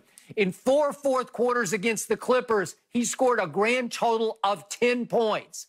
In those four fourth quarters, plus the one on Saturday against the Raptors, he has a grand total of two free throws attempted. Of course, he made both of them because he is a free throw making machine. In the bubble, he's made 25 of 26 free throws. On Saturday, he shot zero in the fourth quarter because he goes, we, we talk about LeBron being passive aggressive. I mean, AD, all done, is, is just not aggressive in the fourth quarter. If, if he even sniffs of a double team, he's just giving up the basketball. He does not want to assert himself. He does not want to try to impose his will in the fourth quarter the way he always does in the third quarter. He is Mr. Third Quarter. So I am not going to give LeBron and AD a pass for a pathetic performance down the stretch against a team that does have some grit and some toughness. We get that. But they don't have Kawhi Leonard, and they haven't been great against good teams. And that deserved a lot more criticism than what it got at least from across the table here on this show, because somebody says he's not concerned when I think deep down he's scared to death about Trip what's Dub going tonight, on. though. Yeah. Well, Yeah. first of all, the question was, are we concerned? Uh, uh, admittedly, LeBron and AD did not play well. Right. But am I concerned about them going forward? Not really. Again, AD, you made good points. And you, you guys know I've been on this show all year saying AD is going to have to become a fourth quarter scorer. I put it in the context of to beat the Clippers, but maybe we're seeing it, period. I mean, for most of the year, he averaged three points in the fourth quarter. The last month of the season before the lockdown, they kind of got him going more in the fourth and he played better. But that's becoming a problem. And part of it, look at where he's shooting from. Why is he out there thinking he's Kevin Durant? You know, AD, part of the problem is what is he fantastic at offensively outside of free throws, Skip, to your point. You know, he's a very he's a very good shooter for a big man. Yep. But not when you can, you know, if you look at regular perimeter players, he's nothing special on the perimeter. And in the post, he's pretty good, but he's not great. He needs to be going inside. Again, he is not Kevin Durant. He's not Dirk Nowitzki. He's not one of those seven footers that's just gifted on the perimeter. So I think that's an issue. They need to have AD playing a little closer to the basket because his jumper is going to come and go. It's Yeah. not going to be automatic like some of the great guys I Yeah. mentioned. Chris, Chris, what, what he does best in, in his whole offensive repertoire is draw fouls. He can draw fouls. He at least he does first quarter through third quarter because he he parades to the free throw line. The other day, I was just in awe, he, and it, it's automatic. It is a really sweet motion that he has. Great follow through, high arc, swishes nearly every free throw, and then in the fourth quarter, he, he so lacks aggression that that he he just doesn't even get to the free throw line and do what is best in his repertoire. I think. Yeah, I, I think. go ahead, Chris. sorry, go ahead. Go ahead. I, I think they made a mistake. You know, look, look, we look at the fourth quarter numbers. AD didn't score as much in the fourth. LeBron was one of the highest scoring fourth quarter guys in the league. But we know what we've seen LeBron enough delivering the playoffs. I know Skip, you rip him, but he's got more game winning shots in the playoffs than Kobe and MJ. Okay, so we know LeBron can deliver down the stretch. I think they should have spent the season make getting AD comfortable as the go-to guy in the fourth because there's gonna come points in the playoffs, whether it's the Clippers or somebody else, where AD is going to have to be that guy. I think the thing is, is that what we're seeing is that Vogel is playing AD the entire third quarter, and then he's resting for, for the first six minutes of the fourth quarter. So you might have to. Now I get the Clippers because he had it going. The Clippers were starting to slip away from you, but AD got it going and he kept you in the ball game. So I get riding him for the entire third quarter, but you might have to break it up. Uh, uh, Chris, you might have to only give AD eight, nine minutes of the third quarter so you can bring he and LeBron back together again. Because you kind of you like staggering those guys. If you notice, AD plays the majority of the first uh, first quarter. LeBron comes out uh, uh, with at the, about the five minute mark. He might come back in with a minute to go, uh, and then he'll AD will start the bench on the, in the second quarter. He'll start on the bench. LeBron comes back, and they come back in, and they normally finish together. But you might have to stag. You might have to uh, uh, AD minutes in the third quarter. Says AD, I can only play you eight to nine because I'm gonna need to bring you back. I'm gonna need you to be, get going a little earlier in the fourth quarter. But I ain't worried about it. We'll take it out on Utah tonight. Utah, y'all got y'all in for it. Final point. I'm going to say it again. The closer for your Lakers is Kyle Kuzma. That's why they had him on the floor for most of the fourth quarter. They were waiting for him to start making big shots, especially three point shots. Unfortunately, he got stuck having to guard six foot one Kyle Lowry, and he's what? What's Kuzma Six six, eight. eight, mm-hmm. and he just couldn't stay with him, and he got tormented and, and frustrated on defense. He starts fouling. Obviously, Lowry makes a couple of big threes. VanVleet's making threes, and you you you can't suffer through it. It's like you tell me about Lou Williams. The Lakers hut Lou when he's on the floor because he is their closer, but he can't defend. So you got a problem now without Avery Bradley being able to lock down a Kyle Lowry. You are going to miss his three and D. Hey, Chris, you know what I hadn't heard since we've been back in the bubble? The bubble. Oh, LeBron don't play no defense. Have you heard that from somebody else we know, Chris? LeBron doing what he do. He has been playing hellacious defense. The guys on the other team. That's No, the he- problem. no. Need somebody else guard. Uh, exactly. He can't. He can't guard. He can't guard Siakam and OG and Right. Kyle Lowry and Kawhi and Paul George and didn't Lou have Will. big. Siakam didn't have a big game. He did. Skip, are you back with the Clippers, or I know you were talking Lakers last week? I loved how the Clippers bounced back. There was no hangover from what I considered a moral victory over the Lakers, and all they did was lead by 42 against the Pelicans in the third quarter. So I, I think they're back afloat. Hey, what what did they bounce back from? You know what I'm saying? Mm-hmm. You, I, hey, Chris, you remember we was growing up and you get a butt cut and you, your gr- mama, your grandma said, "Boy, get in there before I give you something to cry about." Yeah. You better bounce back. yeah. We gave you Oh, something yeah. to cry I about. Heard that a lot. We gave you something to cry about, Skip. Utah plus six and a half. Thank you. Oh. No mercy. The Rockets upset the Bucks 120-116 last night, despite a monster 36-point game from Giannis Antetokounmpo. Russell Westbrook led the way for Houston with 31 points, and the Rockets delivered some timely defense down the stretch, ending the game on a 16-4 run to seal the deal. So, Chris, on a scale of 1 to 10, how big of a threat are the Rockets? I'm going to say a six. A six. They're the third best team in the Western Conference behind the two LA teams. And the problem for the Rockets, of course, is they're going to meet one of those teams, the Clippers or the Lakers, in the second round. Now, right now, much to Shannon's chagrin, it would be the Lakers in the second round. And if I had to pick one of the LA teams who I think the Rockets have a, the best chance of beating, upsetting, it would be the Lakers for the reasons we talked about in the last segment. The Lakers have trouble guarding the perimeter. And that, of course, is the strength of the Houston Rockets. So I think they would give the Lakers some headaches and push them in a really tough series. And I give them a, a, a decent chance of beating the Lakers, although I'd favor the Lakers. So I, I, the things I like about the Rockets, since they've gone small ball, they have become less Harden centric. So now the dynamic between James Harden and Russell Westbrook now is much more of a two headed monster rather than being a definitive Harden first option, Russell second option. I mean, Russell's taking more shots than Harden in these two games in the bubble, and he's averaging 31 points, eight assists, eight rebounds. And Harden, of course, had the big 49 point night.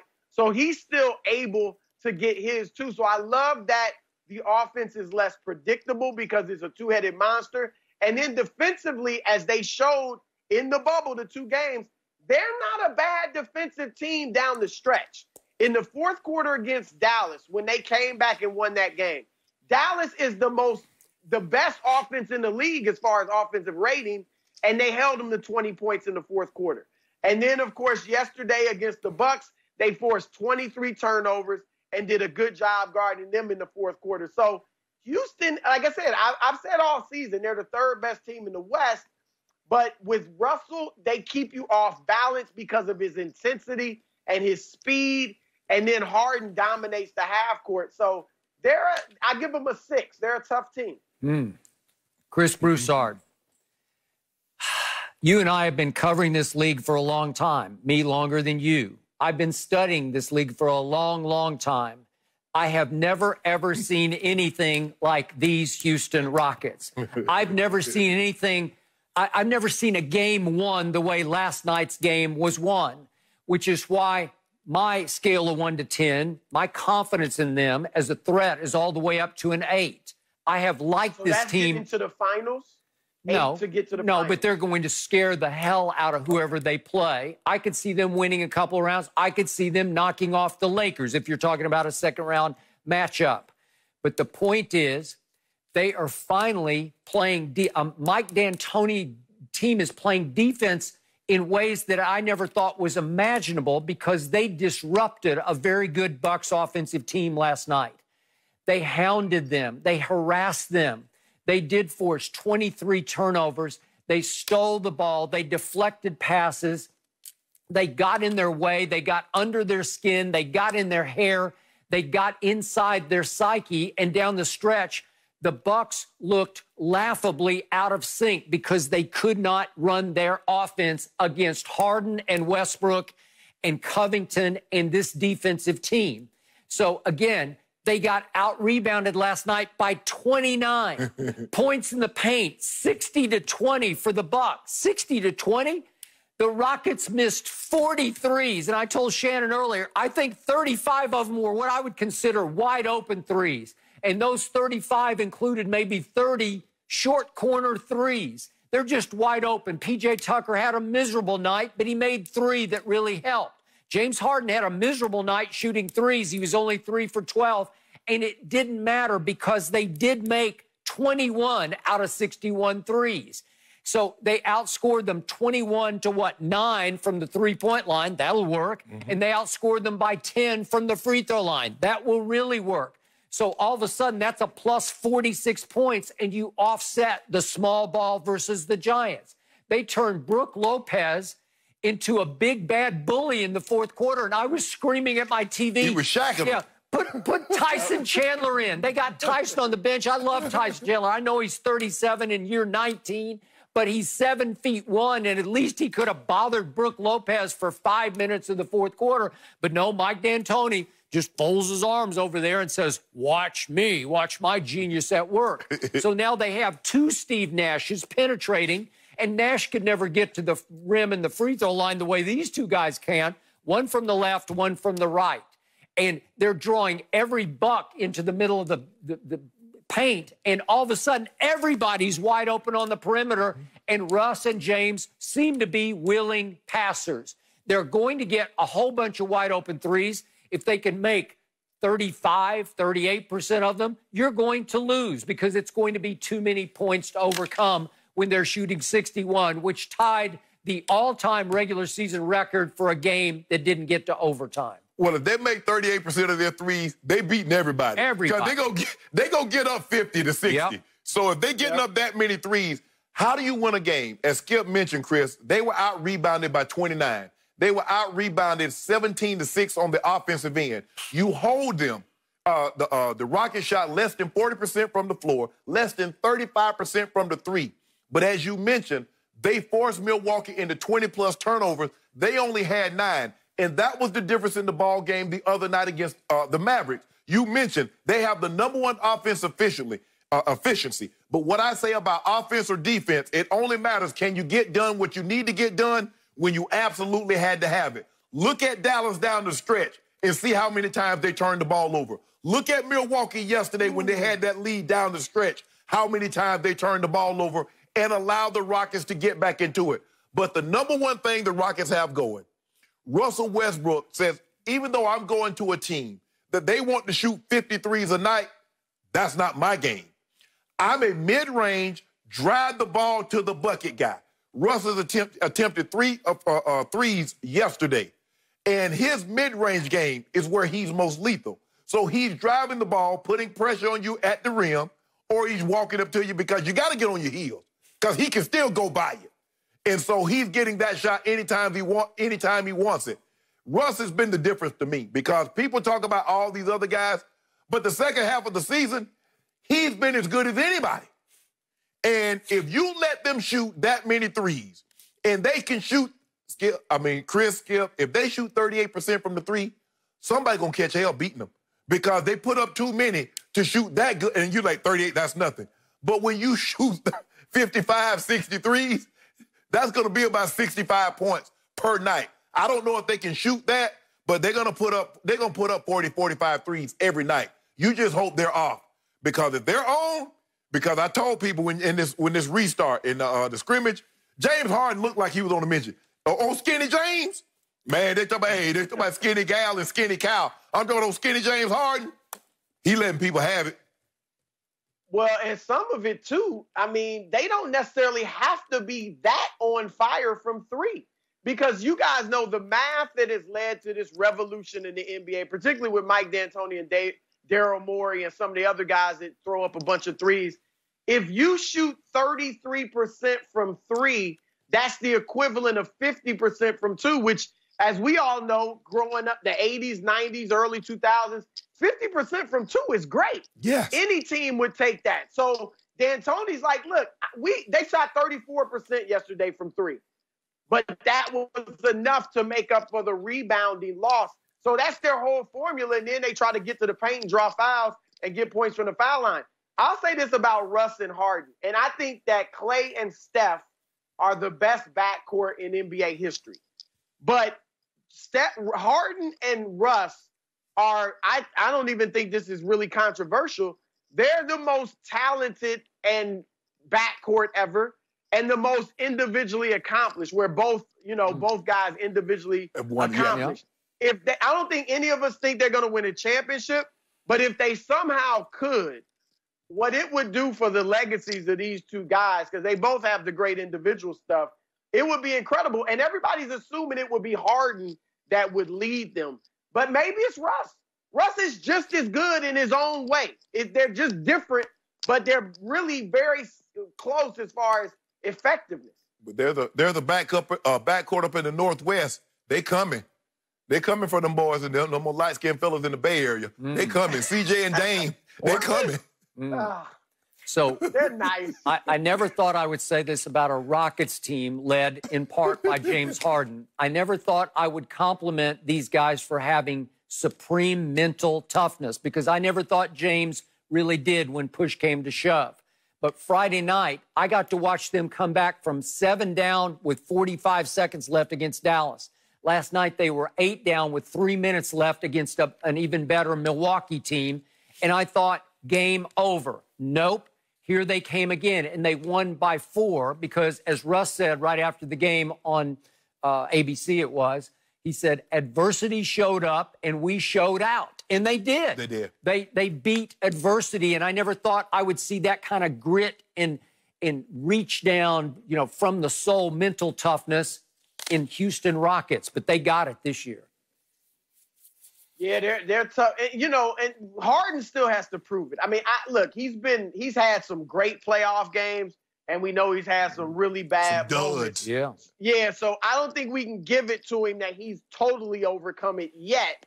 He's obviously got to do it in the playoffs, but I think Russ helped. I think Russ's presence because even though CP3 was great, Chris Paul, he doesn't put you like Russ just puts makes the defense so uncomfortable. Yeah. Because he's always charging at you, and Chris didn't do that, and I think that helps James. Hmm. Good, good stuff, guys. Really interesting. Rockets fascinating to watch right now. Chris Broussard, I have a feeling we'll check in with you plenty throughout the next couple days. Thank you so much for joining us today. No mercy. While the majority of coaches and players continued kneeling during the national anthem over the weekend, there were a few notable exceptions. Orlando's Jonathan Isaac and Portland's Meyers Leonard both stood while the rest of their teammates kneeled in their respective games.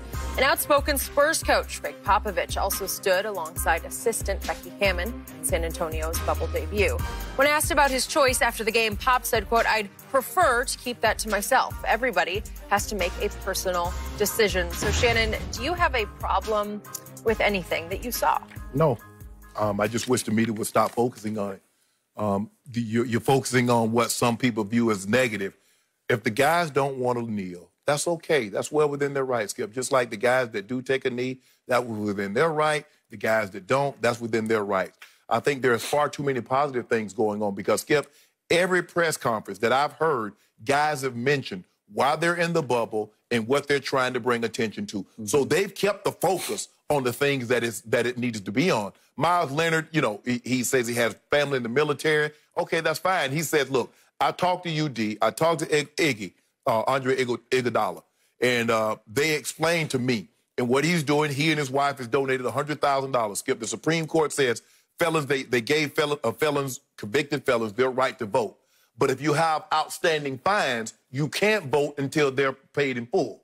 So LeBron James also has donated money, his foundation. Miles Leonard, there have been others that have vote, donated money to the, uh, uh the, the, I think it's in Florida, that to get these fine paid so these guys, these young men and women, will have the ability to vote. Skip out, Of, look, let's not vilify, and, Charles said, let's not vilify people that's not kneeling. Charles Barkley. Charles Barkley. Mm-hmm. Let's not vilify those that are not kneeling like they vilified Colin Kaepernick that did kneel. Mm. And at this point in time, Skip, I want to make something abundantly clear to people. There's two things at play here. What's going on right now, Skip, is a demonstration. A demonstration is there's nothing to lose. There's no chance of being arrested. There's no chance of a fine. There's no chance of being suspended. Colin Kaepernick protested. He lost his job. Muhammad Ali protested. He lost three years of his career. John Carlos and Tommie Smith at the Six Day Olympics, back power. That was a protest. See, a protest, Skip, you have to be you have to be willing to lose something. Mm-hmm. Either your livelihood. John Lewis protested, got hit upside his head, he almost lost his life. Mm-hmm. Dr. King, when they was doing these marches in Birmingham, when they was doing these sit-ins, that's a protest because there's something at stake here, Skip. You could be arrested. Mm-hmm. You could be killed. You could lose your job. These are demonstrations. Okay. There's nothing to lose here, Skip. This end up because guess what the NBA said? We have a rule that you need to stand. I think it went in place in 1981, but we're going to lax the rules and says, okay, mm-hmm. we understand. There's no threat of losing your job. There's no threat of being arrested. So there's two things at play: a demonstration and a protest. Okay. This is a demonstration. Got it. Okay. I'm going to walk through each of these these decisions made by three different people Correct. one at a time. Let's okay. start with poor Jonathan Isaac. And I say, God bless you, Jonathan Isaac, because he tore his ACL right. last night. So this happened before he tore his ACL. Mm-hmm. The game before, obviously, he was the first, obviously, young black player in the right. NBA just to say, no, I'm not going to kneel and I'm not going to wear a Black Lives Matter t shirt. Right. He was recently uh, ordained as a minister mm-hmm. back in just March. So recently he mm-hmm. became mm-hmm. a minister. And his point was basically that all lives matter, which is a flashpoint that you didn't love, no, right? And no, a lot of people no. in Black Lives Matter right. movement did not love mm-hmm. that. But he's saying all lives are supported through the gospel. So I, I don't believe this is the way. He, he obviously said, I, am I'm, I'm for Black lives. I'm for all lives matter. Mm-hmm. So again, you've had issues with Christianity because over the years, back through history, Christianity has been used to, the Bible's been used to rationalize slavery and other, mm-hmm. uh, you know, sort of demeaning of the of black people, people, oppression. Yes. So are you okay with this one young black man saying, well, no, I see it very different. I'm Christian and I'm going to, I'm not going to kneel or wear a t-shirt. Skip, the problem that I have is that he used religion because you have to ask yourself in a situation like this, what would Jesus do? Mm-hmm. There were people, I told you what, what I think Jesus would exactly. do. He would have been out there marching, protesting, sitting in the street. He, he couldn't he do everything. He couldn't be everywhere at mm-hmm. once. No, but he would. But when the, when people needed, he was there. And if he'd been in the bubble, he would have knelt. That's what. That's I all believe. I'm saying. Okay, let's go to Gregg Popovich. Okay. Remember, graduated from Air Force Academy, mm-hmm. did his five-year stint in the Air Force, considered going into the CIA, so his roots are deep in the military. Correct. Okay and he has been consistently scathing in his criticism of our president. Correct. correct? Yes. And he's been consistently extremely supportive of Black Lives Matter. From, from the jump. Okay. Uh, I make a quick uh, aside comment here on Gregg Popovich. The irony is sometimes I think he's more like our president than he would like to be because he can be a bully in media, and yeah. especially um, reporters who ask, but, but especially post game when they ask fair and objective questions he shames them just the way our president shames people in press conferences. And then it appears that Coach Popovich was not good with Colin Kaepernick kneeling because he just basically said he, he wouldn't say why, but it was clear it was because of his military background, the way he looks at that mm-hmm. flag. That's one line you don't cross. Right. So, so I'm pretty sure Coach Popovich was not good mm-hmm. with Colin Kaepernick protesting that way. Right. Okay. Just for the record. Okay. And you can take it or you can leave it, okay. which brings us to Meyers Leonard. And he was the first to admit, I'm a basket case. I'm a zombie right now. I haven't slept over this. I think he really wrestled with it. He said so he talked I. to family members and to Navy SEALs that he knows. Mm-hmm. Not those Navy right. SEALs that had those attack dogs and the guy had the Colin Kaepernick jersey on no, and he had four dogs. Not those guys. Okay. Okay. But go ahead, Skip. You know. could, could be. Okay. I don't know. But he said that you can be a patriot and support Black Lives Matter too. And this has been another issue that you've had issues with mm-hmm. because, well, what, are they they can't go hand in hand right and and he's like they're mutually exclusive so he wore a black lives matter t-shirt mm-hmm. but said no i can't do that right. i can't kneel because that's i don't kneel during right. our national anthem Again, you've had issues with that before. Because, Skip, it's almost yeah. like if you're kneeling, you're taking, you're protesting the military. You're kneeling, you're protesting the flag. You're kneeling, uh, mm-hmm. the, the, the, Bible is that, and my thing is with, with the Bible is that people cherry pick it, parts of the Bible Yep. to suit the cause at the time in which they're talking about and say, see, here it is right here in the Bible, right there in black and white. There's But much to cherry pick in the Old Testament. Exactly. Yes. And a lot of people mm-hmm. cherry pick different parts of the Bible mm-hmm. to accentuate. Because Skip, remember they used that. Blacks and whites were not supposed to be together. That's what they said in Jim mm-hmm. Crow. That's why they tried to keep, well, it started Okay. in, in slavery, but that's what they used to try to keep blacks and whites from being together. You're not supposed to be in the same classroom, the same neighborhoods,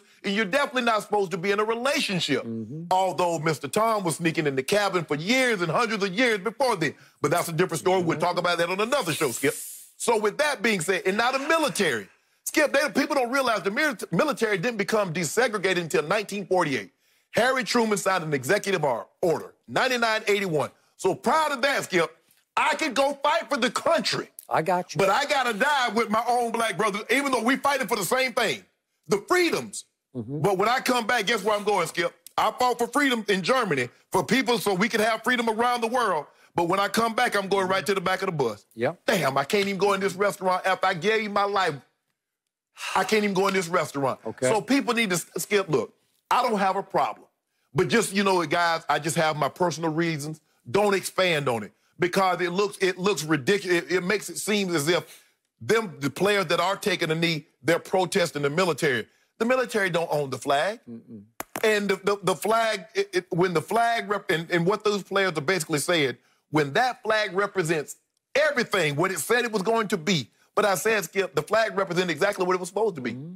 They say, well, all men are created equal, where there was no women and there was no blacks in the mm-hmm. writing of the Constitution. Mm-hmm. So it was, re- so when they say all men, all white men are created equal. The Constitution, America is, ex- is a running exactly how our founding fathers intended it to run. Nothing more, nothing less. So stop this notion. Okay. I can't believe America is like this. Yes, you can, because America was set up to be just like this.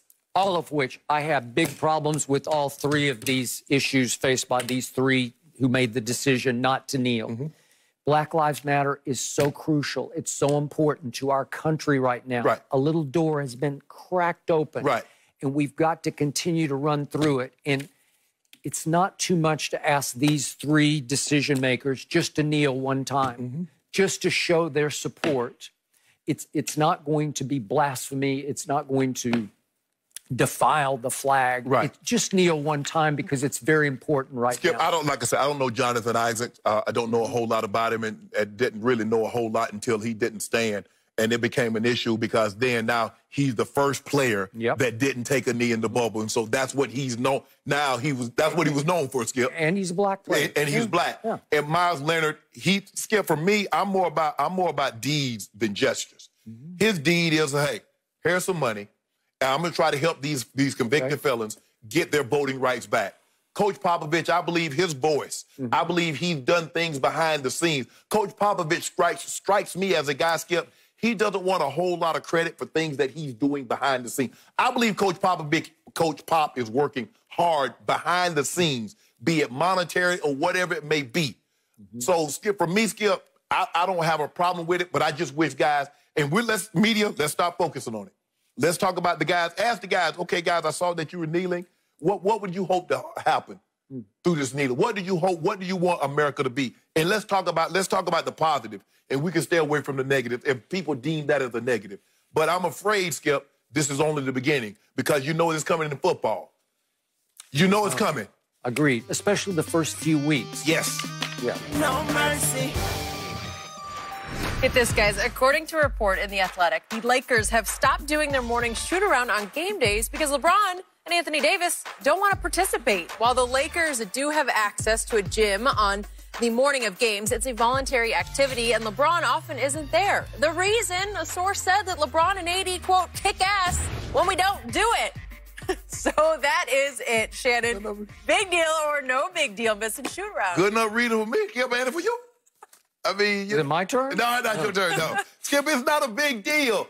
I mean, you always, you know what? You, I know what you're trying to do. I didn't even speak yet. You're trying to sow dissension, like you always tell me. You're trying to ruin my Cowboys salary cap Mm-hmm. You are. by paying Dak all this. Skip, it's nothing. It's the two. I mean, it's hard for me to see a scenario that the two best players on any given team don't have the lion's share of the say in when practice is or when practice isn't. When shoot around is or when shoot around isn't. I, it's hard for me to believe that, Skip. That's the way basketball works. Basketball is a superstar-driven league. Hmm. Now, NFL, I don't care if Tom Brady say he don't want to practice. Tom Brady gonna be there. That- That's just the way it is. Coach said to practice. The, the thing was, Skip, I remember we used to have like obviously we play on all, you know, we practice on all the holidays unless it falls on a Tuesday. But sometimes Christmas falls on a Wednesday or Thursday, or Thanksgiving. Thanksgiving was always Thursday. We had practice. Now Christmas was very unique. We knew one thing. Whenever John, whatever John said was when we gonna practice. If John kids wanted to wake up early and, and, and open their presents, Okay. Guess what, Skip? We were coming in the right. We coming. If they want to do it late, so be it. But we, were, were you going to skip practice? no, ain't no, skipping. No, no, no, no, no, ain't no skipping. Okay, Right? thank you very much. Your butt gonna be there. So that's just the way it is. And guess what? We have shoot around today. Watch what we do to the Jazz tonight. Really? No.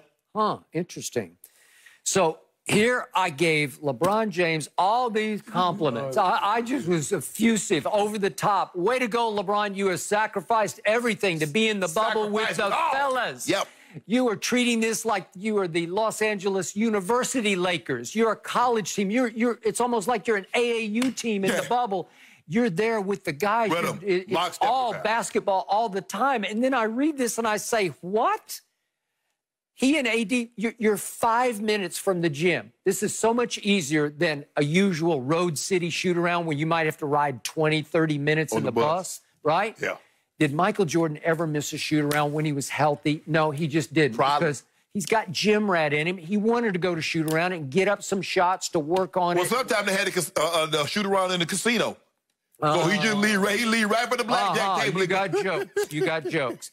The other point of the shoot around is you go over your defensive rotations for the, the opponent of the night. You're going to do this, you're going to do that, we're going to do this if he does that. Right. And it's always different. So I guess they're just doing it virtually. I don't know how Yeah. they're doing it from their room. Yeah. So they don't want to have to wake up and go to shoot around. This is a bad sign because uh, what do the numbers tell me? I know it's not a big sample size, but through the first two games, your Lakers from three are shooting 28%. You like that? With them other guys, you need to go. But hold on, Skip. If they've been 28%? if they've been doing it like this, if they've been missing shoot around or they've been neglecting shoot arounds before, what's the difference? what, what's not clear about the story, did it just start in the bubble or is Right. this back, Exac- back into exactly, the, the regular exactly, season? exactly. I don't know. I don't know either. Well, okay. So what is LeBron James from the field right now in two games? Not good. He's shooting 38%.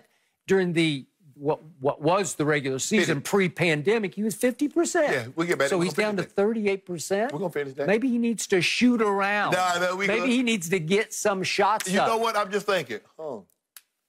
Take the jazz and call me in the morning. That's what the doctor, doctor just prescribed. Take The- one jazz and yeah, call me in- and call me in the morning. Really? So watch this 30 point triple dub tonight. Really? Yep. Huh. All I know is this is a bad sign. It ain't no bad for, sign. For a team, when, when your two superstars can tell the coach what we're not going to do, and again, it's Vogel. Could could you do this to back in the day, Phil Jackson? No, he, he wouldn't have accepted. He'd say, no, you are going to be there, whether you like it or not. Kobe, Shaq, you're going to be there, When- and they always were there. This is a stop, stop sign for Skip Bayless. Stop trying to make something more than what it is. Mm. Could- it ain't gonna happen. could any Spur say, uh, Pop, uh, I, I don't think I'm going to Kawhi did it for 73 games. hell He's like. Pop, I ain't playing. Well, he quit on the whole games." team. Okay, then. he didn't even show up for any games or anything. Okay. Okay, then. And what happened? He got his butt out of town to Toronto, Hey, hey, and he successfully duped the whole world. So let me ask you a question. You believe last year in Toronto, Kawhi was at every shoot around? I would say he'd be at every shoot around on game day if he. I mean, if he's going to play in the game. Yeah. Well, he missed, he missed 22 of them. Okay. So he missed 22 shoot arounds, but that was already decided pre-game. Okay, so we decided this. Okay. We made some last minute addendums to, to the contract. If Mike Shanahan were the coach of these Lakers, Nah, nah, would nah, he accept that? He would not accept you that. know it's different in football than Well, basketball. I- it shouldn't be. It is, though. It's a mentality, No, no. And, and maybe they're lacking a little mental toughness and commitment. One- one or two superstars in basketball really control the whole dynamic of the team. You know that. That, that's just the way it is, Skip. I- and and I, I and I, I see the way the coaches interact with the players and how they talk to the players. The, the coaches don't get on the superstar mm. players. Do you think when LeBron was in Miami with D Wade playing under Pat Riley, do you think they said no to shoot arounds? They did not. Now, Skip, LeBron's a little older now. Mm. He's a little older now. Like you told me, we we trying to save some of these minutes. Mm. If I know Shannon Sharpe, and I think I do, you do not love this. Skip, This is another bad sign. watch tonight. After tonight, you're gonna say, LeBron, you should not even. You know what? As a matter of fact, don't even go to practice. Forget shoot around. Mm. Just show up at the game. Really? After what he do tonight. Oh, he's so good he doesn't need practice. After tonight. He's got he's played the third most minutes in NBA history. So who needs practice? Who needs shoot arounds? Who needs Ain't nobody anything? practicing during the season anyway. Skip. Mm. Basically, I mean, you fly I to think one the city. story said they're not practicing either. No, Yeah. you you should know now. How about this? Danny Green shot wide open, knock it down. KCP shot wide open, knock it down. How about that? That's all we're asking, guys. We're not asking for much. We're not asking you to do anything that you haven't been doing all season. Mm. Just give us what you've been giving us all season long. That's good enough.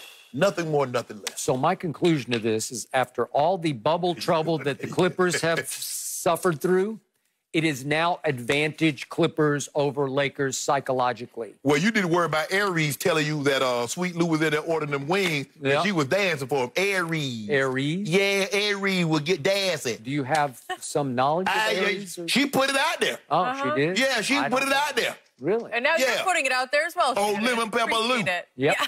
Okay. I had a feeling that would come from this discussion today somehow, some way. Oh, and by the way, Shannon or Skip, Yeah. I don't think either of you would miss shoot around. There's no way Nah. that's in your DNA. So moving on from there. No. No mercy. A Sports Illustrated column explored potential trade options for Dallas if the Cowboys end up moving on from Dak Prescott. And one that raised a lot of eyebrows was going after Aaron Rodgers. The former MVP has been pretty vocal that he thinks Green Bay wants to move on to Jordan Love sooner rather than later.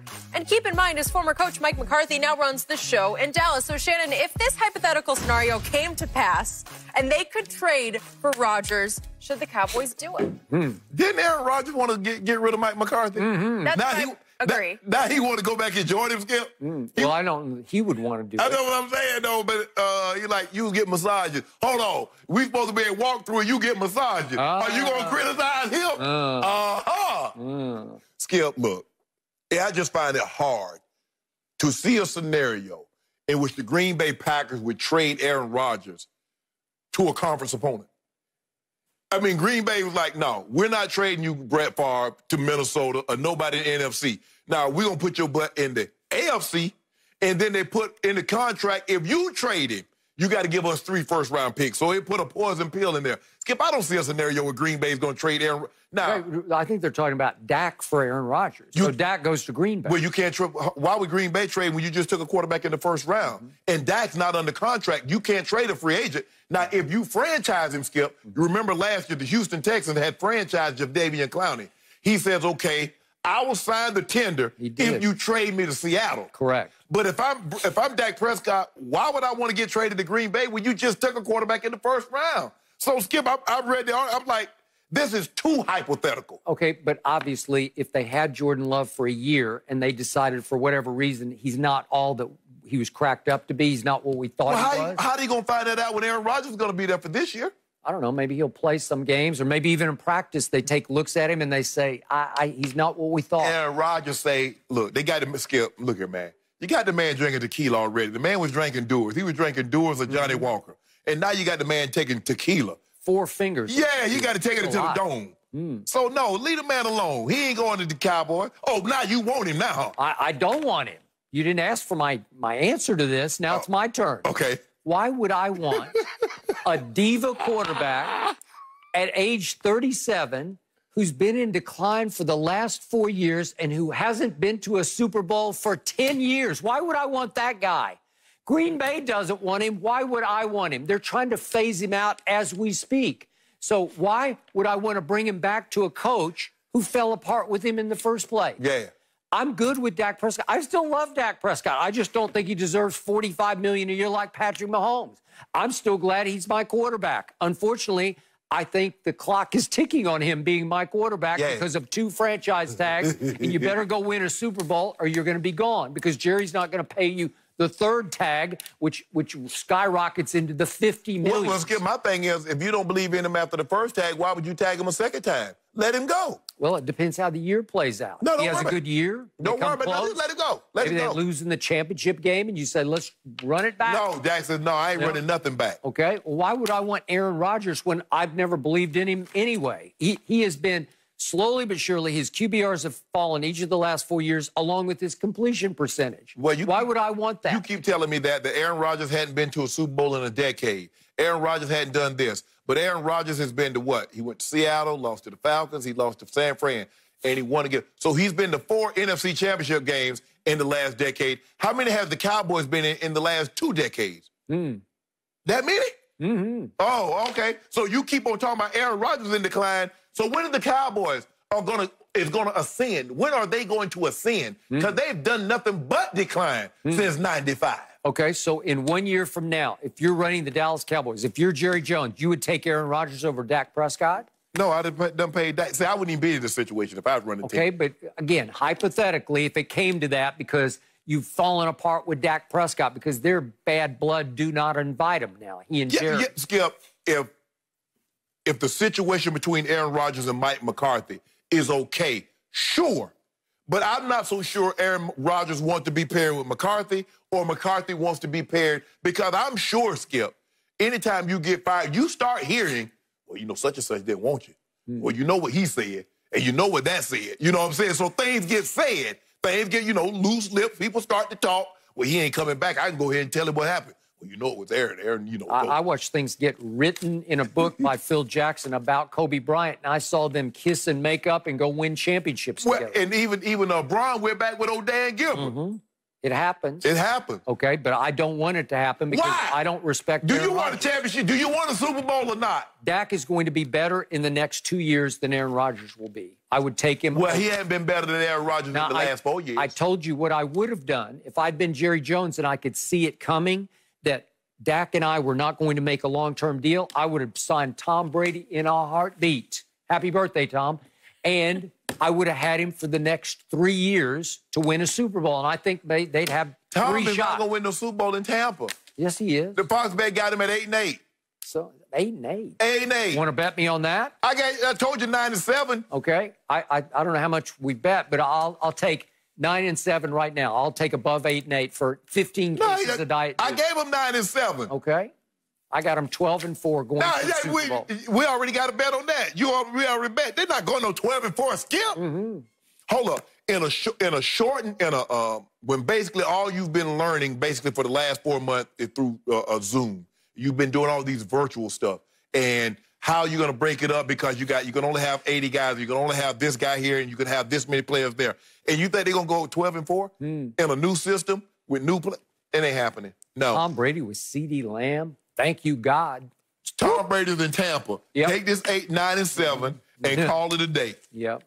I'm going to be calling your day every day, Okay. every Monday. I want you have that energy. You see that energy you got Yeah. right now? Want you have that. Yeah. When you come here, I don't want to hear nothing about no, well, you know, uh, he just got to get used to his receivers and, and the defense let him down. Because you blame, you're going to blame, uh, blame BA. Just like you blame Coach Belichick that every time that something went wrong with Tom Brady, it was Coach Belichick's fault. The coach of the Buccaneers is now one Thomas Edward Patrick Brady Jr. Thank you.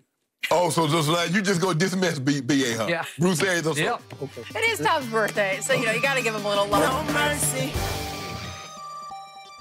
After posting a photo to Instagram showing the 99 degree heat in Tampa this weekend, social media lost its collective mind once they realized Tom Brady still used an iPhone 6. Brady could certainly afford a new phone after signing a two year, $50 million deal with Tampa in March, but maybe he just likes his six year old phone. I don't know. likes to stick with what works. Shannon, should Brady be embarrassed? I know you always have all the new latest Yeah, I, phones. I upgrade mine every year. I keep my phone, but it Jenny go back. It's the six plus. Six plus came out when 2014. What year did the Deflategate happen, Skip Bayless? Hmm. you can't fool on Shay Sharpe. Old Perry Mason over here. All that info. Remember, he wouldn't turn that phone over. As a matter of fact, he broke it. Whop, whop, just beat, the- just beat the phone.